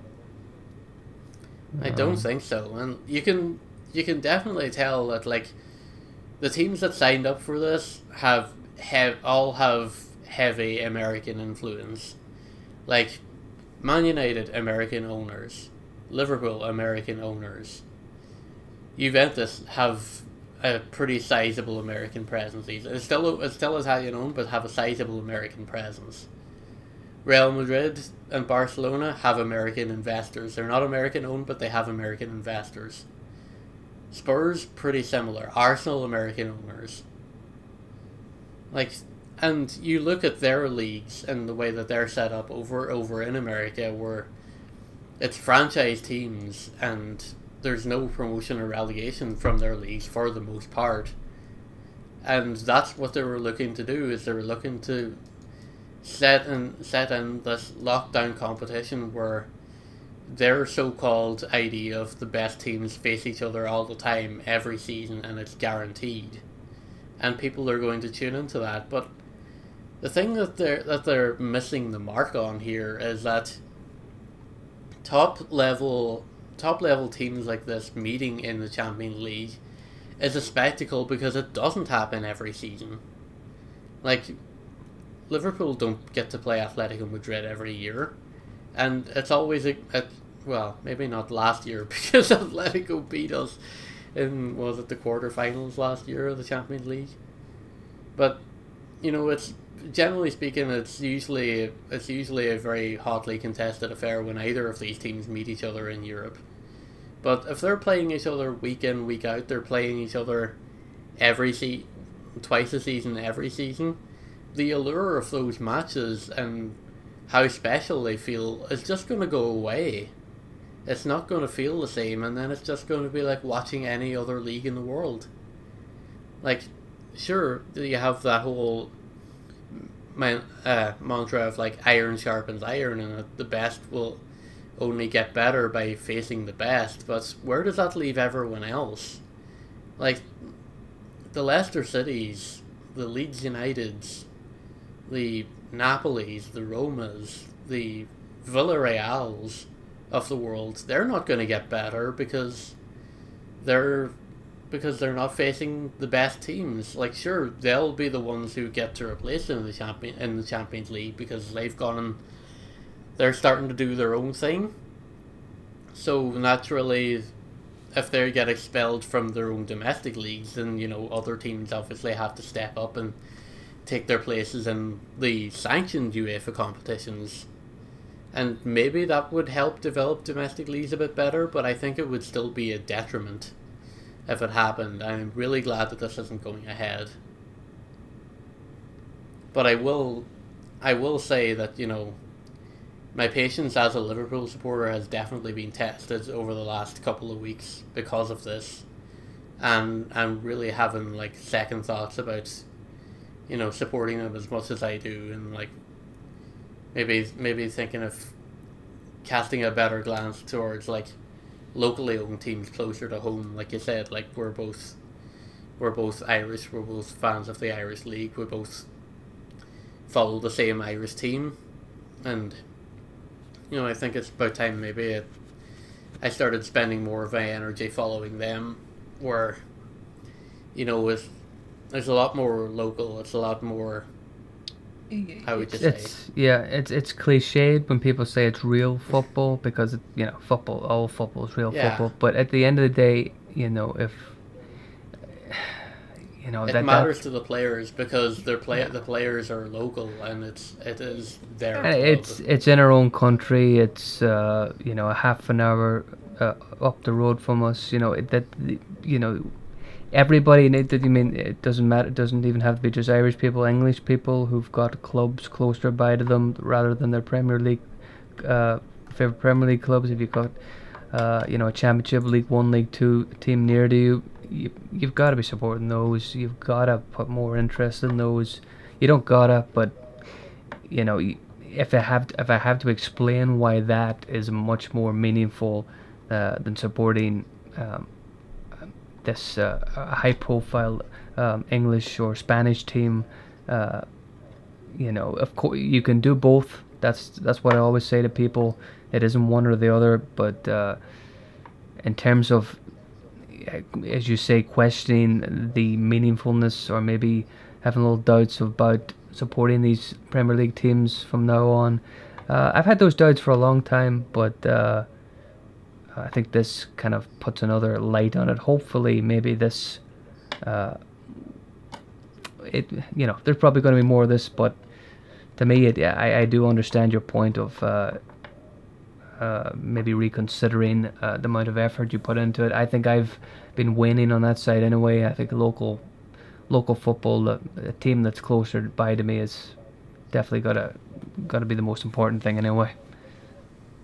Yeah, like like it, like people often say, like you can't beat the live experience, and well, if you have that at your doorstep rather than having to take like a two-hour flight or something to go see a game, like like you'd be you'd be foolish to turn that down.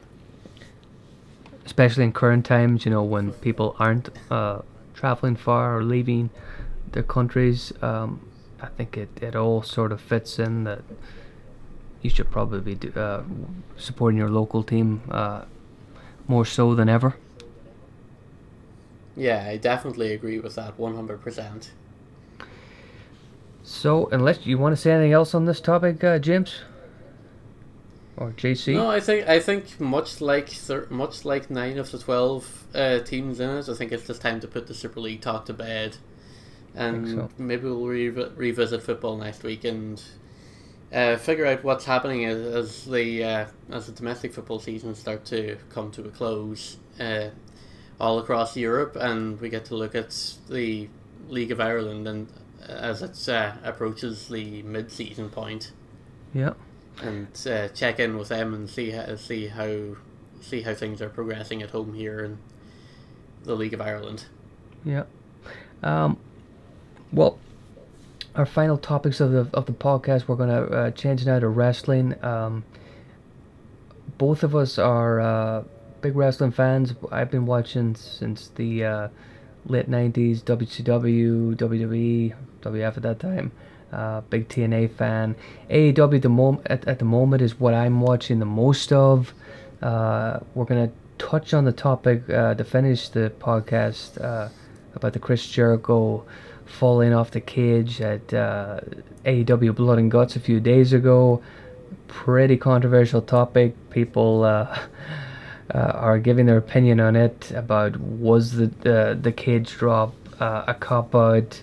Uh, we'll get to that in a in a in a, in a little while. The first topic is a pretty uh, pretty interesting. Could be a controversial topic. I, I want everybody in the comments to uh, give their uh, their picks as well. We're, we're gonna me and JC for life. Uh, we are going to uh, give our five versus five AEW versus WWE a Survivor Series match. Uh, fantasy book this match. You know we've had. Uh, in the invasion in the invasion angle in the early 2000s we had uh, WCW and ECW versus WE uh, people have always uh, fantasy booked their top fave WCW versus WWE guys uh, th- what we're going to do today is we're going to uh, pick our five favorite our five best picks for AEW versus our five best picks of WWE I'll start off with uh, with my picks for uh, AEW um, it, it, it this is a tough one. I think JC you'll be the same as me. Uh, there's lots of different things you gotta take into. I mean, we could just blindly pick people and you know that be that. But I, I put a little bit of thought into this. Uh, there's so many guys you could pick in AEW. Lots of the high profile guys like Jericho, uh, Moxley. Uh, you, you've got Christian Cage now. I didn't pick any of those three guys because for me, and I think JC, you, you, you might have a different take on this. For me, those are more seen as WWE guys. They're now in AEW, um, but I still think they're seen as WWE guys. So what I wanted to pick was AEW more so guys, uh, and I have one uh, wild card that probably won't surprise uh, JC. Um, so again, I'll, I'll do my picks. Uh, not a big fan of this first pick, uh, but he is a poster child, a poster face, a poster guy of AEW. And my first pick is Kenny Omega. I don't particularly like the guy uh, as a as a talent. Um, I think he's a little bit overrated, but he is. At the end of the day, if you're picking at this moment in time a representation of a AEW star or somebody that is liked by AEW fans and is used on posters and stuff, Kenny Omega would be the first pick. Um, my second pick is Cody Rhodes. He's, uh, I guess he's had an, a WWE background, but I don't think anybody would say at this moment in time that he's seen as a WWE guy because he, he started this along with all the other people that started the AEW franchise. So that's a that's Kenny Omega, that's Cody Rhodes. Um, my next one is Darby Allin. I think he's the most exciting uh, guy in the AEW roster. I think he's terrific. I think he's at the moment he's uh, taking in the biggest ratings. Um, I think he's he's a star. He's already a star, and uh, considering I did not know about the guy a year and a half, two years ago, whenever the AEW started, for me to think that uh, is pretty damn cool. My fourth pick is MJF. Um, he's an asshole. He's an arsehole, or he's an asshole. He's a.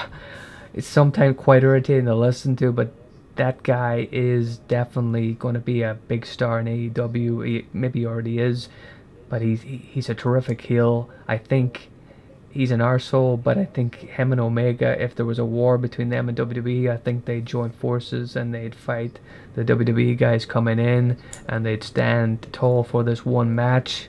Um, and the fifth pick, I mean, this is the one I think the JC are going to probably, and other people might uh, throw flack at. Um, my fifth pick is Sting, which I think a lot of people are going to criticize and say, well, Sting isn't wrestling that much anymore. Um, and would you really put him in a live five man or ten man Survivor Series match? I think it's a perfect way if you were going to use Sting in a big match because he wouldn't have to wrestle that much. He'd wrestle, he'd maybe come in near the end of the match, do a Stinger splash, Scorpion Death Drop, take out some of the guys.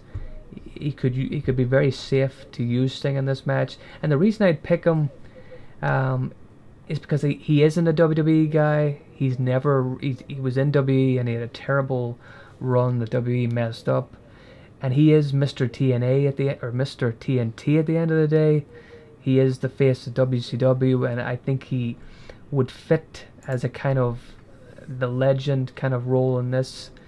My only problem with using Sting is that I feel if you use Sting, you need a WWE guy in the opposite uh, side that is similar and the W at the moment doesn't have Undertaker because I, I think he's retired, hasn't he?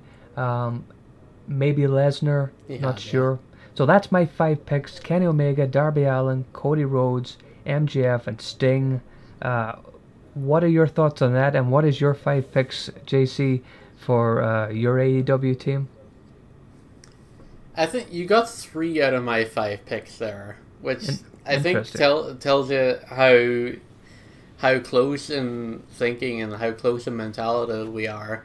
The two okay. that I wouldn't have from your from your team, your first the first things first. You're pro- you're right in saying that you know, I would be probably opposed to having Sting be on the team. Okay. I think Sting Sting would be a great manager for this team because Darby Allin's going to be on the team, so you're going to have Sting involved in this hypothetical match anyway. Right. Like I'm sure, like I'm sure he'll be at ringside, and like there'll be some other like WWE running interference because that's what WWE likes to do in their matches, and I think Sting being out there with Darby would be the great deterrent in preventing that kind of that kind of uh, brawl from happening outside of outside of the match and preventing interference. He could be like the enforcer of the situation, if you will. Good point. I I do agree with Darby Allin. Like I said, like I said when I said like that Sting would be like the enforcer for this. Darby would probably be my number one pick for this team, just because he's been like like you said before. Like I wouldn't have like known him very well outside of AEW before they started, and he's definitely come leaps and bounds. He's improved a lot. He's definitely he's got that he's got that look. He's got that star power. He reminds me of he reminds me of a young Jeff Hardy when he tried when uh back in back in the old WWE days uh after the after the Hardy Boys got split up in one of the WWE drafts and both went solo. One stayed on Raw, one got drafted to SmackDown. I think Jeff stayed on Raw. And he really started to come into his own by himself. Like he had that very memorable feud with the Undertaker, and he ended, uh, eventually became he eventually beat Undertaker to become world champion. And I think I see a lot of that young Jeff Hardy in Darby Allin. I think he, he's going to have a extremely breakout rest of the year. He's been absolutely killing it with the TNT title matches, and his defenses there. The uh, so he's in your team definitely. Darby Allin is my number one pick, absolutely, okay. without we're a shadow lo- of we're, we're locking Darby in for you. Uh, my number one or my number two pick, uh, would probably be Kenny Omega. I've been a fan of his for a while.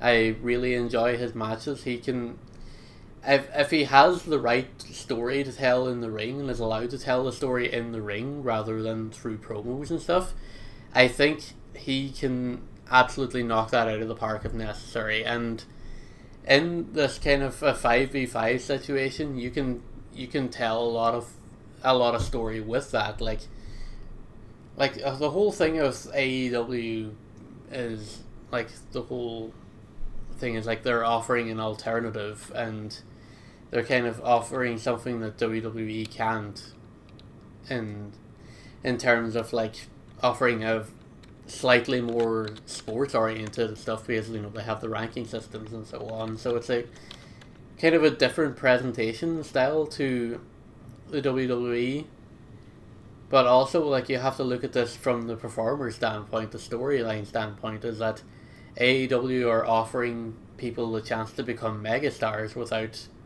without going to the WWE at all. And this is where Kenny could tell that great story is that he had a tryout with the WWE and they looked over him and now he's all of a sudden like this conquistador. He's going to all these different federations. He's collect he's collecting world titles for fun. He's AAA champion in Mexico. He's AEW champion. He's Impact champion. He's a TNA champion as well after they reactivated that title. There's talk that he might show up in New Japan and win that title as well and just exacerbate things even further. And he'll just use this and use his smarmy elite persona and, have Don Callis with him to like rub it into WWE's face. It's like say, hey, this is what you could have had working for you, but you turned it down, and now I'm a megastar Mm. and I don't need you. So And then have the WWE guys come up against that. So you know it it's it doesn't really create a kind of that kind of traditional you know the way how they how when they do invasion angles they have like one one side is extremely obviously the good side and one side is the bad side.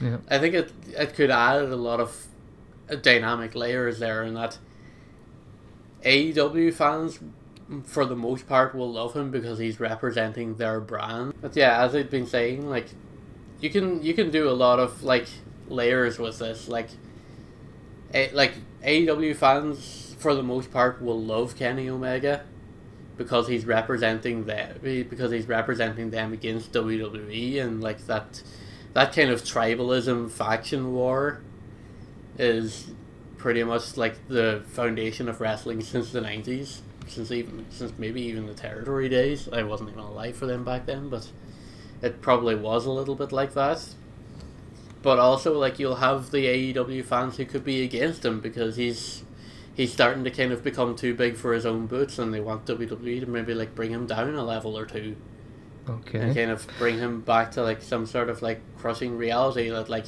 he's not the ultra star that he thinks he is because all of a sudden he might be beatable in this situation. So you've So got like you've got- having ha- having him in. Sorry, So yeah, you you've got Darby, you've got Kenny. So that's you've got a babyface, you got a heel. Um, but you but you both agree with me on those two. Uh, who else you got? And my number three pick is probably Jon Moxley. Okay. So got- so you've got- before you before you give your reasons, uh, I want you to touch on when you give your after you give your reasons. Do you agree with my point that he's a WWE guy more so, in, or does that not really matter too much at this point? Um, so you, you can try and touch on that if you want. I don't re- I don't really see him as a WWE guy anymore. Okay. And That's I know that. I know that that may be hard to believe because like AEW's only been a thing for like a year and a half now, but but there's there's like a much there's a much different dynamic to the Jon Moxley character than Dean Ambrose ever was. Like Dean Ambrose came across as this kind of goofy guy who found himself fighting out of these situations that he found himself in, rather th- rather than you know Moxley who goes out looking for the fight. You see, I think And, it, it, know, it, it's- it's probably a good choice in my opinion, but I don't know your next pick. So I think if you if you pick who I think you're gonna pick uh, in one of your next picks, I, I I think I my point about him being a WE guy becomes even more of a problem. But do continue. My number f- my number four pick, and this maybe might be might be where this team kind of starts to fall fall apart here in terms of star power, Right. is maybe uh, maybe Jungle Boy. Oh, Like, sure, he- I, I sure had he thought about hasn't- him, but I uh, I felt compared to the other guys I had that he, based on AEW TV, he he was he hasn't got the push yet. I think he deserves a push already, but you can give your opinion though on it. Yeah, like I don't think like I can agree with you there that like he doesn't really have the star power just yet that may command a place in this team, but I think like I think a big a big ma- hypothetical match like this, like if it were to happen and if he were to play a part in it, like this could absolutely be like a career defining performance waiting to happen.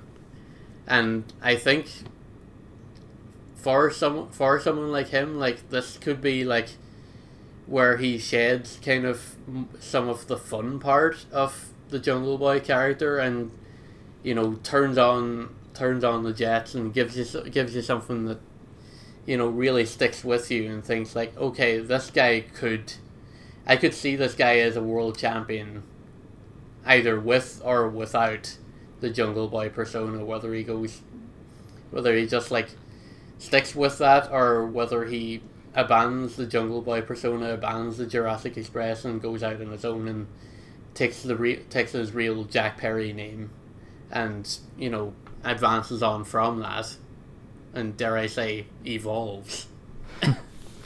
So Omega, Darby, Moxley, Jungle Boy, and And my fifth pick is, I I think it's the same as your fifth pick, MJF. Yeah, I think he He's needs to be in it. That he he does need to be in it. The WWE. Can you imagine? Can you imagine needs, his like, uh, promos on WWE? Imagine him face to face giving promos, making fun of them. I, I- think that'd be gold. I absolutely can, and WWE fans will certainly be looking for a character that is ridiculously easy to hate, and someone who is fun to hate.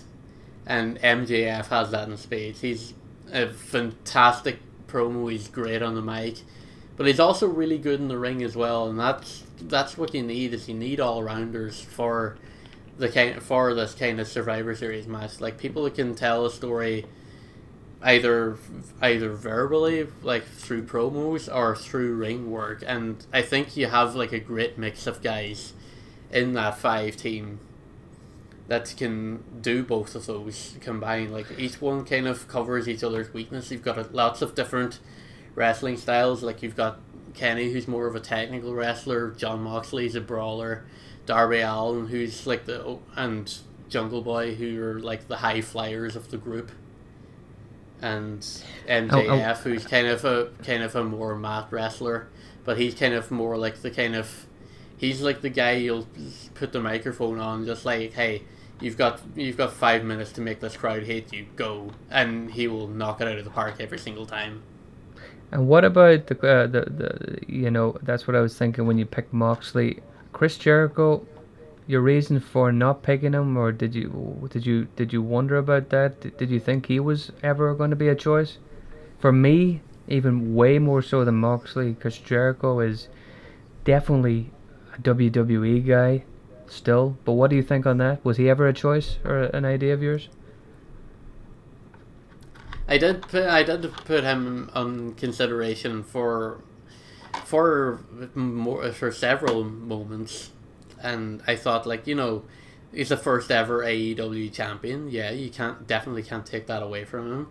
He's been he's been in a lot of entertaining segments. He's been he's been a great guy for them to have, but this kind of match is about kind of creating star power and I think someone with the star power that Jericho already has, I don't think this match needs Jericho. That's a good point. I want to go I back think. to uh, my Sting pick because I think that's one that would uh, would be controversial to some people, and I think other people would get what I was getting at. Um, because I, I think um, if it was any other match, people would say, "Well, Sting isn't." If this was, if somebody said, "Well, we're going to pick Goldberg," um, you know, for WWE's pick, I would go, "No." Not because I wouldn't pick Goldberg, but because he doesn't wrestle that much he isn't really there that often. Whereas with Sting, he's one of the few at his age, even though he doesn't wrestle that much.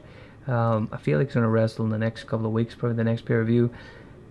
I think that he, he's there every week. He feels like somebody that's actually a part of AEW. Um, his connections to WCW would be a really interesting counterpoint to go against WE. Uh, WE's sort of uh, history of misusing WCW guys would be interesting. His connections to TNT, um, and the fact that if somebody goes, oh well, he he, he couldn't wrestle a live match. I think there's there are, there is suggestion that he will be wrestling live match, probably big tag matches, and I think this is probably the safest tag match or match you could put him in, even uh, beyond cinematic matches. To put him in there, he wouldn't have to wrestle that much and we all know he can do. Uh, he can move around and, and do some really cool moves, uh, and and pull off um, short segment that would add to it.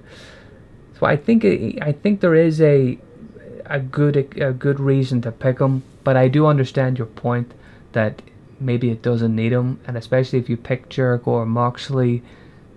I, my point is, I think you need star quality that if somebody who's a WWE guy looks at the other team and goes, "Oh well, well who do they have?" or if a, if somebody's tuning into this cold and uh, doesn't know much about WWE or W or AEW at the current day stuff, they can go, "Well, I know who Sting is, or I know who Jericho is, or I know who Moxley is."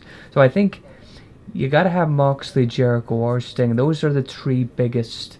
Uh, stars in terms of name credibility that if you ask some guy in the street, they're going to know who Sting or Jericho is. Um, and I think you need one of those because I think that is the problem with the AEW roster that the bigger stars are quite, even at this moment, are still people that um, the vast majority of the public may not know based on name. Obviously, the wrestling community is going to know who Omega and MJF and guys that like that are. But I don't think when you compare it to maybe some of the WWE names are going to name out that they're going to have the star quality. So do you th- would you agree with that that this AEW team does need somebody like Sting, Jericho, Moxley for name credibility. I I do see your point, and I think you are right. Like maybe that maybe that is also like a big factor as to why I picked Moxley, but I can see your point as to like why why you could make a case for Sting or Jericho being in this match, and I'll say as well to add to that, like if you had like someone on the WWE side who was coming into this match, like kind of like how kind of like how I picked Jungle Boy and like have them have it like being their like career defining breakout performance. Like you could have that on the WWE side and like you could build someone off the back of he's the person who pinned who pinned Sting in the Invasion Survivor Series match. Yeah. Like like that's like that's a star making performance. Kind of like kind of like kind of like uh, Randy Orton when he had the whole legend killer gimmick. Like it's like oh he came out and he beat all of these legends like in a, like by almost back to back to back to back to back in a row, and and he got his like legend killer persona off off of that, and that's what turned him into a star. Like similarly, like if you have like someone who's like in the mid card but just can't reach that next level, give them the whole I beat Sting and won the match for Team WWE. And that that and that's a ball that's going to get run far into the end zone. That's going to be a touchdown. Yeah. Seven days a week. That for me is a. I, I think I, I give all the credit in the world to Darby, but I, I think the addition of Sting with him has really sort of added a kind of turbo boost to his push, getting the push because um, I mean, people can criticize the Sting, the use of Sting in AEW. That you know, he's maybe some of the segments didn't need to happen every week. That maybe they're overusing him, but I think the visual of Sting and have him having him uh, help uh, Darby out and having Darby sometimes come out and help Sting, it's like you know, it, it is a really cool way because everybody knows the Sting is there to help out younger guys. He's not going to be a pain in the ass like somebody like Hogan or Warrior who's going to be politicking and being a really negative uh, person to have around. Um, so yeah, I, I, I think I think he is vital. And again, I'm, I'm a big fan of Sting, so maybe that's the reason I'm, I'm having him, having him in there more so than maybe a Jericho or a Moxley. Um, so my picks: Omega, Darby, Cody, Sting, and MJF. Uh, I'm going to go into my picks with WWE now. Um, I this has been tougher because I don't watch a lot of WWE. Uh, I, I very rarely watch it these days. Um, but my picks are Roman Reigns because he's one of the biggest stars in WWE at the moment. He's, I think he's got to be in there. Uh, my next pick is Seth Rollins. Uh, another one is Randy Orton. AJ Styles. And then the last pick, uh, had The Undertaker still been doing matches, uh, the fact that used Sting, I think I would have wanted to have somebody that fitted in similarly because if you have Undertaker, then AEW picking Sting would obviously have connections and have possibilities the two of them could face each other. Obviously, that's going to add a little thing, a massive thing to the match. And because Undertaker is a WWE legend, but the fact that he's not wrestling anymore, um, uh, you know, made me uh, that that's a, probably a flaw in my picks. Uh, so my last pick, I, I believe I haven't said it yet, is uh, Daniel Bryan. But then, as I stand here and say that, he isn't under contract anymore. But I feel like he, they're gonna uh, probably fix that soon enough. So my picks are Roman Reigns, AJ Styles, Daniel Bryan, Randy Orton, and Seth Rollins. Uh, as I as I said, um, there's probably better picks I could pick, but I'm not a big WWE watcher. Um, I think those guys are probably the five most respected and known wrestlers in WWE at the moment. Do you agree with those picks, JC, or, or, or, or how many of those picks are going to be in yours? Honestly, I think I think you've I think you picked my team for me. right. honest. Uh, Roman Roman Reigns would absolutely be a slam dunk number one pick because you know he is he has come on leaps and bounds since you know embracing this whole tribal chief head of the table uh, persona since he like, turned heel, and he is absolutely killing it in that role. It, they needed to pull the pen, pull the trigger on that years ago, but you know what they say? That they say that the best th- best time to do it was was then the the second best time to do it is now. Then I'm glad that they're doing it now because you know he's a he's just a, a great bad guy and you watch and you root for him to get beat and he is doing that job incredibly well and the fact that they haven't had him taking a, take a lose yet since uh, since uh, adopting that side of his character is really telling like how career defining it is for him my second pick, I absolutely agree with you, is Seth Rollins. He did have a little bit of a blip in quality on the over like the last two years. He hasn't been hitting those highs that he had like coming off the back of uh, both his wins against Brock Lesnar. Like he had that legendary Money in the Bank cash in at WrestleMania he had the singles match win against WrestleMania where he beat him for beat him one on one for the title afterwards. So he became the Beast Slayer. But he's kind of he's kind of fallen back and away from the title picture lately, but there's there's still there's still enough there that you know that if he wanted to go for the title, he could be absolutely be a realistic contender for it. And that would definitely play earn him a place on my team. Absolutely.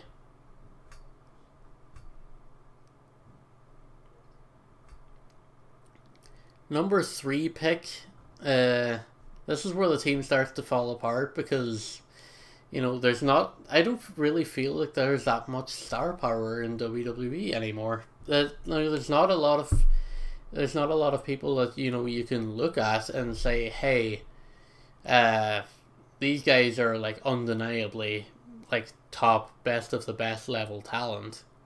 My number th- my, my number three pick is much like much like your Randy Orton pick is uh, turning to that veteran uh, power, and I am going to pick Jeff Hardy as my number three pick. Okay, so re- re- recap those again. You've got. Uh, I've got Roman Jeff- at number one. I've got Seth at number two, and now I've got Jeff Hardy as number three.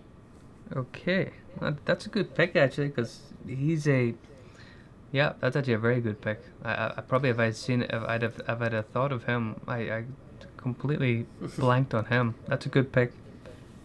I mean, um, I mean, not to disparage the rest of your picks. Like I did, ser- I did seriously think about having Randy Orton on this team, and I probably, I probably still will. He he will probably still be pick number four or five, but you know, Jeff Hardy has that veteran presence. He's been wrestling since the early '90s. He's been with WWE in one capacity or another since 1995. Would you believe?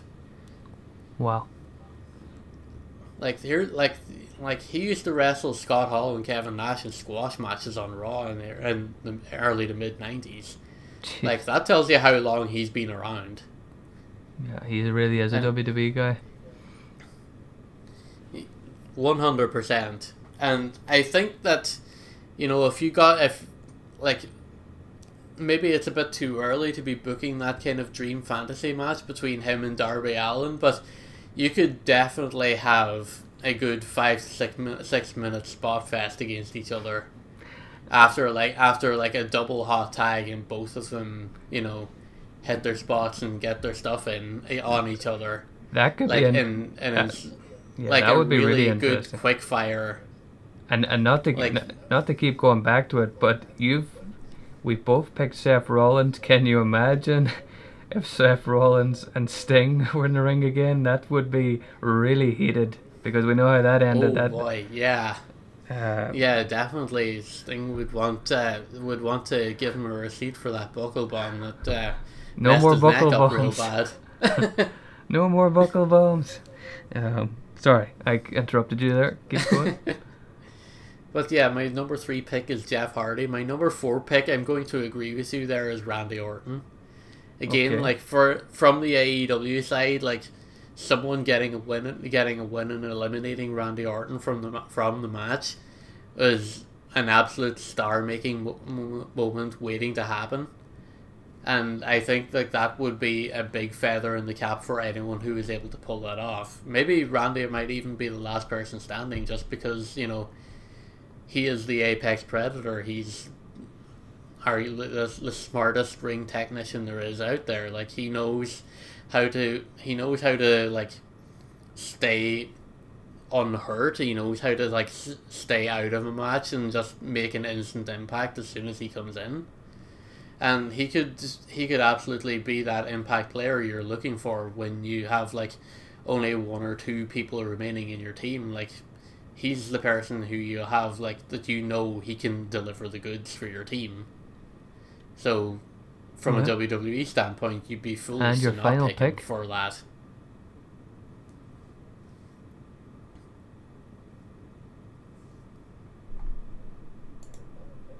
Hello. My final pick.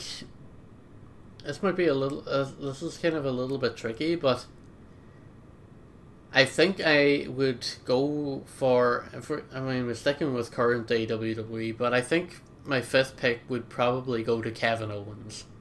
Oh, I've been a fan of his for quite a while now. so he's- no Daniel Bryan or AJ Styles. Interesting. Honestly speaking, I would see AJ Styles as still an Impact Wrestling guy. Okay. Like he, like he, like he, he's had a great WWE career since he since he moved across. Don't get me wrong, but I think if you're kind of booking this kind of a dr- this kind of a dream match, you know, you could have like, you could have the like the Survivor Series match be like the like end of an invasion angle, but of course then what's going to happen when one invasion angle ends, another one begins. And who do you think is going to lead Team Impact in that invasion? Only Mr. TNA himself, the phenomenal one, AJ Styles, defect defecting back. so he's pulling a Stone Cold uh, and turned on WWE. That uh, that's the. And he's joining. I mean, I, I mean, I wouldn't say he's turning more so than he's just going home He's to going where home. he, where he where he belongs as the top guy in a in a company where he finally uh, will be recognized as the top guy that he is, rather than being constantly overlooked, like okay. like he was like for a lot of the uh, a lot of that early TNA stint where they you know they, they just wouldn't pull the trigger on him. So Kevin Owens, what your your reasons for him uh, trying to add an asshole like MJF into the WWE uh, production? A bit of that as well, yeah. Like he like Kevin Owens is a great promo. He like is like a super likable person outside of the ring. Don't get me wrong. I think like that kind of plays into a little bit as well. You want him to like have that one big match to to point at and say like, hey, this this is like the greatest moment of your career. Be proud of it. But also like he can he can turn it on and make you hate you if he wanted to. And he is really good at doing that. But like you can you can you can almost even take him taking sides out of it. Like you remember like i don't know if you remember like the early days of of kevin owens when he came in and he had that like prize fighter gimmick where he was just like he's just like in wrestling purely for the money. He's just in it for the payday to, to like look after his family and that's it. Like he has no other motivations. He has no allegiances. Only to just get paid.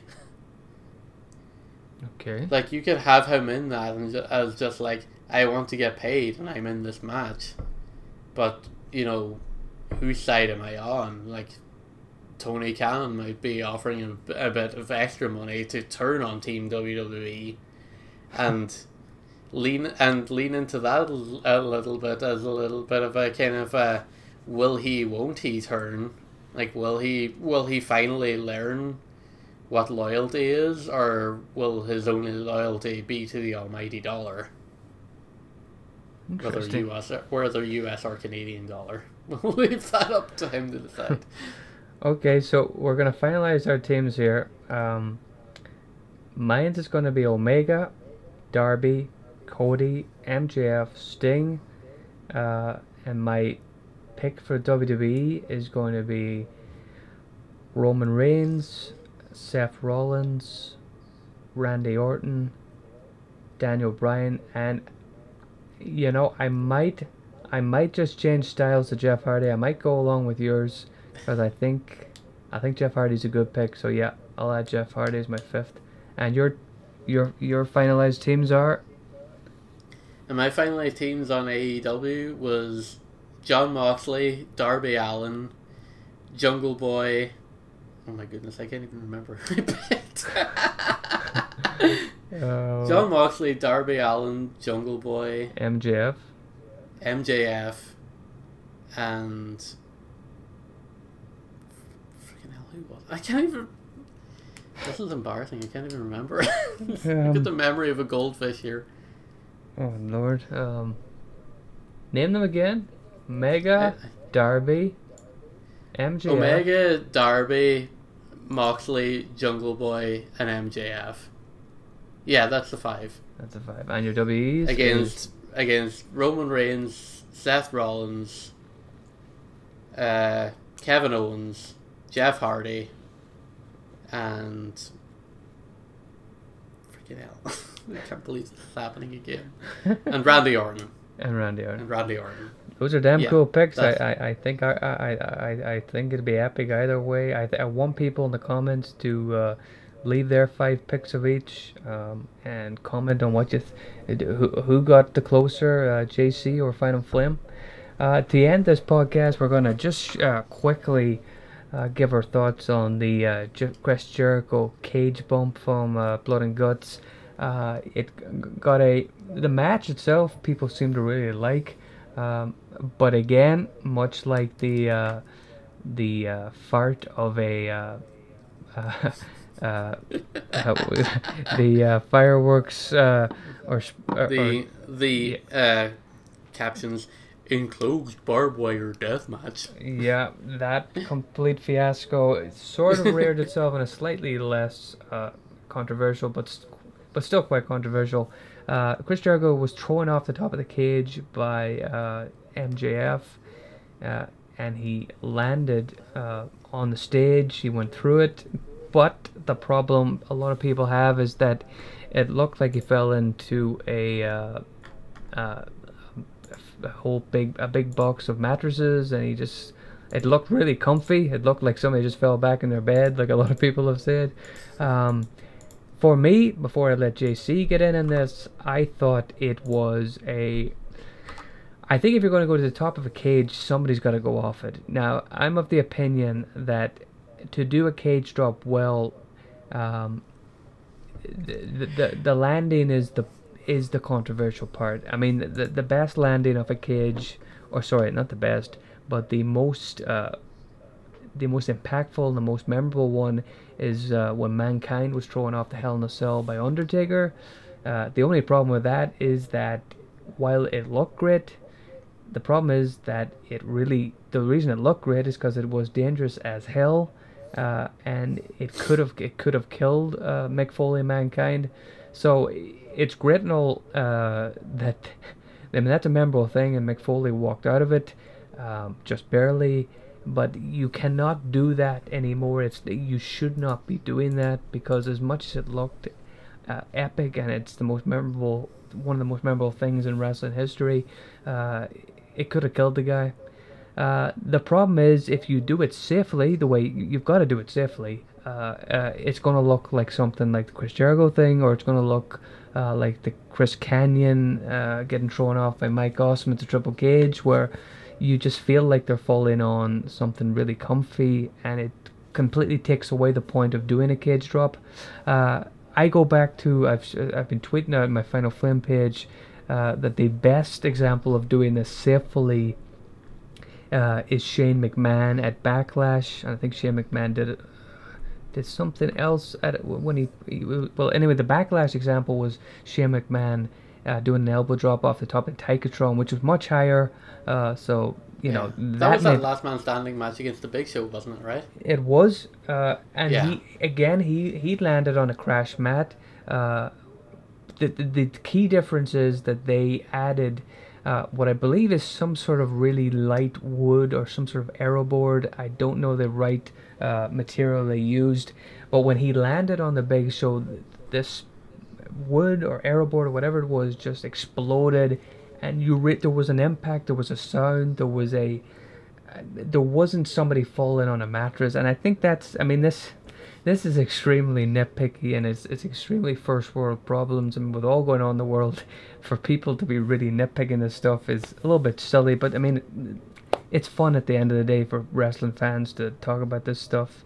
And again i mean it was a big thing. I mean if you're going to end uh, a show that done really big rating i believe uh, and you end it on a really kind of uh, limp note. Uh, it is a, it is a production thing. It is a, a bit like the barbed wire death match. Uh, it does take away from a big uh, match. It does take a memorable match and make it a little bit of a, uh, a, a sour taste the end of it. But what's your opinion? Do you agree that the bump looks looked a little bit disappointing? And do you think that uh, it's possible to make it look better, or do you think it's simply you gotta kill the guy if you want to make it look good? I think it could have looked a lot better, but I I don't think that. Uh, you brought you brought up the Shane McMahon elbow drop on Big Show from the top of the Backlash Titantron, and I like that was that was incredibly well done, but even then they don't need to they don't need to do that. Like production clearly would have known about this spot coming up. They would have like sure like we want to we want to say that everything happens in the heat of the moment because we want to suspend our disbelief. That's what wrestling's all about. But you know they they practice these spots to make sure that they're safe and to make sure that you know they can do them when it comes to performing them in front of a live audience. And production should have known that this was going to come. Like you want you want to show this in a in a manner that shows that Jericho is incredibly hurt, but also don't want to show him being super super safe. Have the camera point up from the floor to the top of the cage. Have them show Jericho coming down. Don't have them showing him landing. That's all you had to do. Was just don't show Jericho after he landed. That's Have it be the, yeah. the cliffhanger going from one week into the next is is Chris Jericho okay? We literally have not seen him since he hit the ground.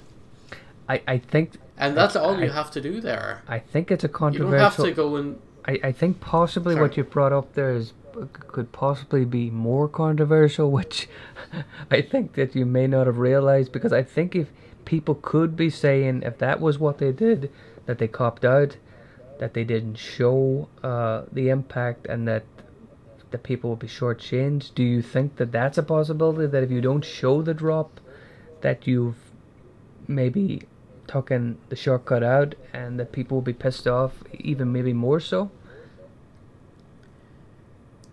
honestly, I prefer I I would prefer the co- I would prefer the cop out than it to look look te- like terrible. See, see, for me, it's it, it's not any. uh, They've, I mean, they've done this match live. Uh, I believe it was live, wasn't it? It wasn't a taped It, it was live, yes. It was. Yeah. Front, it wasn't a li- in front of a live audience. It was not pre-recorded. and, and and they had an audience there, so that there was no way of uh of getting around this. Like if it was a cinematic match or if it was a tape match, they could have got around it. They could have, uh, you know, uh, any number of ways they could have uh, fixed it. Uh, for me, Yeah. it, it, it just comes down to simple things like the the the, the, the Shane McMahon drop. The reason why that uh, works more so, and it, it and it, it and for me it, it looked and it felt really safe. Maybe the height he did it from was way too high. I mean, it's an insane height that he jumped from. Uh, it's just you, you you it's like a table brick. I've never fallen through one of those tables. Uh, but I I'd imagine if you put pillows and mattresses under one of those tables, it wouldn't be that sore if you landed on it fine. So you know, uh, of course, if you fell through a table and onto the concrete, it's not going to be that nice. Uh, but I think you needed something for him to fall through, even if he fell through something and he went down deeper that you couldn't see him. But he sort of landed, and it just landed like he was just laying there sleeping on a bed. It just, and the metal grating things, which weren't metal, they were like plastic or something.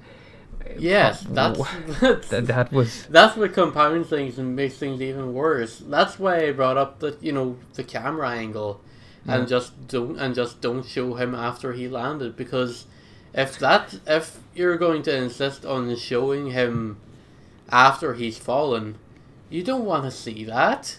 Like that just looks terrible. Like you could just not show that. Just sleight of hand the whole thing. I think an announcer table um, being there could uh, it wasn't the right side for there to be an announcer table there, but uh, an announcer table is a pretty nice way of him breaking through something, but then having something under it. Um, I just I think there's a lot of ways you could have fixed it. I uh, it's one of those things though. If you commit to doing a cage drop, uh, you know you've got to do it safe. That I mean, uh, you agree. You obviously agree with me that the Yeah. man the mankind Yeah, for- thing, yeah. the mankind thing looked awesome. But there's a reason why it looked awesome because it was fucking real, and he could have killed Yeah. him.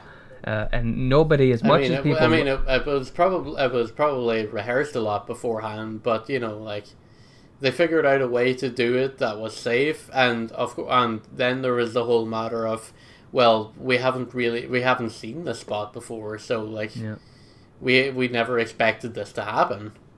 Whereas now with cage matches, you're like, well, when is someone going to dive off the top of the cage? When are someone going to get thrown off the cage? Like, when was the last time you saw a cage match where nobody interacted with the cage and they just had a straight up wrestling match and just in, and it just so happened to be inside of a cage? Like you haven't. Like sometimes you just gotta subvert expectations, and maybe this was one of those times where they should have done that. Sure, they had like the great kind of blow off to the to the whole Pinnacle versus Inner Circle MJF versus Jericho feud here, where you know he gets tossed off the off the top of the cage. But you know what else would have would have been a suitable a suitable ending to the feud? MJF just beating Jericho clean in the middle of the ring and have that as your handing of the torch moment. Like MJF is like, well, I'm the chief asshole around here now. Good luck with that. And that's it. That's all- if you tell the story right, that's all you need to do is just have a wrestling match. You don't need to go to these extreme lengths and put your body in danger and open yourself up to criticism from poor production quality. And, you know, make things even more complicated than they have to be. I, you know, and I think at the end of the day, the prob the problem with the entire show was that with with people saying that well they did it safe, uh, AEW is really, really uh, stand up and great. Uh, that that might be that might uh, sell uh, if we hadn't seen uh, about forty minutes before this, or a little bit more than that. Darby Allin getting thrown down concrete steps.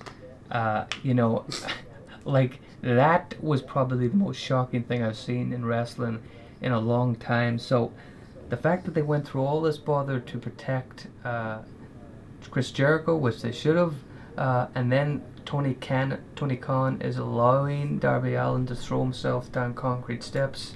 Um, it's it's it's a big contradiction of uh, of their of their mindsets, and I, I I mean I love Darby Allin. I think his death-defying moves are awesome, but he cannot be doing that stuff because he is not going to be around wrestling in the, in the next ten years, let alone twenty years. So, um, you know, I, I did you see that bump, the the step bump? I I did, yes. I, I saw highlights of it, yeah, and it looked nasty.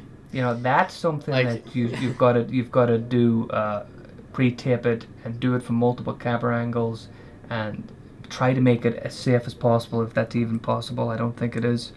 Um, I don't think it's safe as possible. I just, I just think Darby is just nuts enough to want to do to want to do that by him, to himself or by himself. but you know, Chris, That's- Chris you know, Jericho, he- Chris, Jer- okay. Chris, yeah, yeah, Chris Jericho wasn't going to fall off there unless it was going to be safe, and that's and that's damn smart of him because nobody should.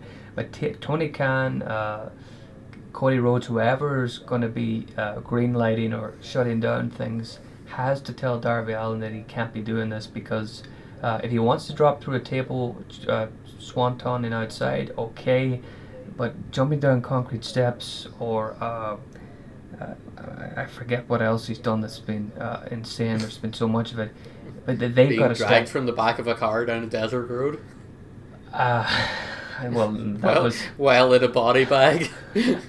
that's questionable. Uh, so yeah, I mean, that's a side thing, but I, I think those guys have got to take more responsibility because, uh, you know, they've got a star there, and they don't want him to get hurt, and they don't want to, they want to prolong his career, and he should, if he isn't smart enough, uh, the guys who are in charge need to be.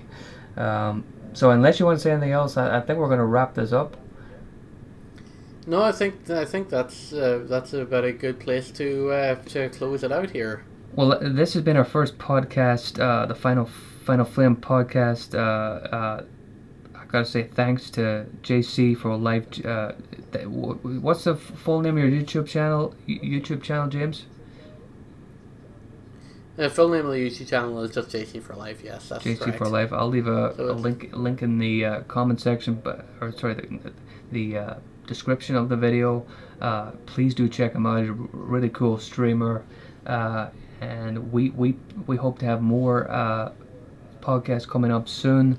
Uh, but if you want us to discuss things, ask put your questions in the comment section, and uh, uh, we will try to discuss as much of the content you want us to talk about uh, uh, in the coming weeks and months. Um, but again, I've been Final Flame Productions, and we I've been uh, joined by JC for Life. Thank you for listening, and we'll see you again soon.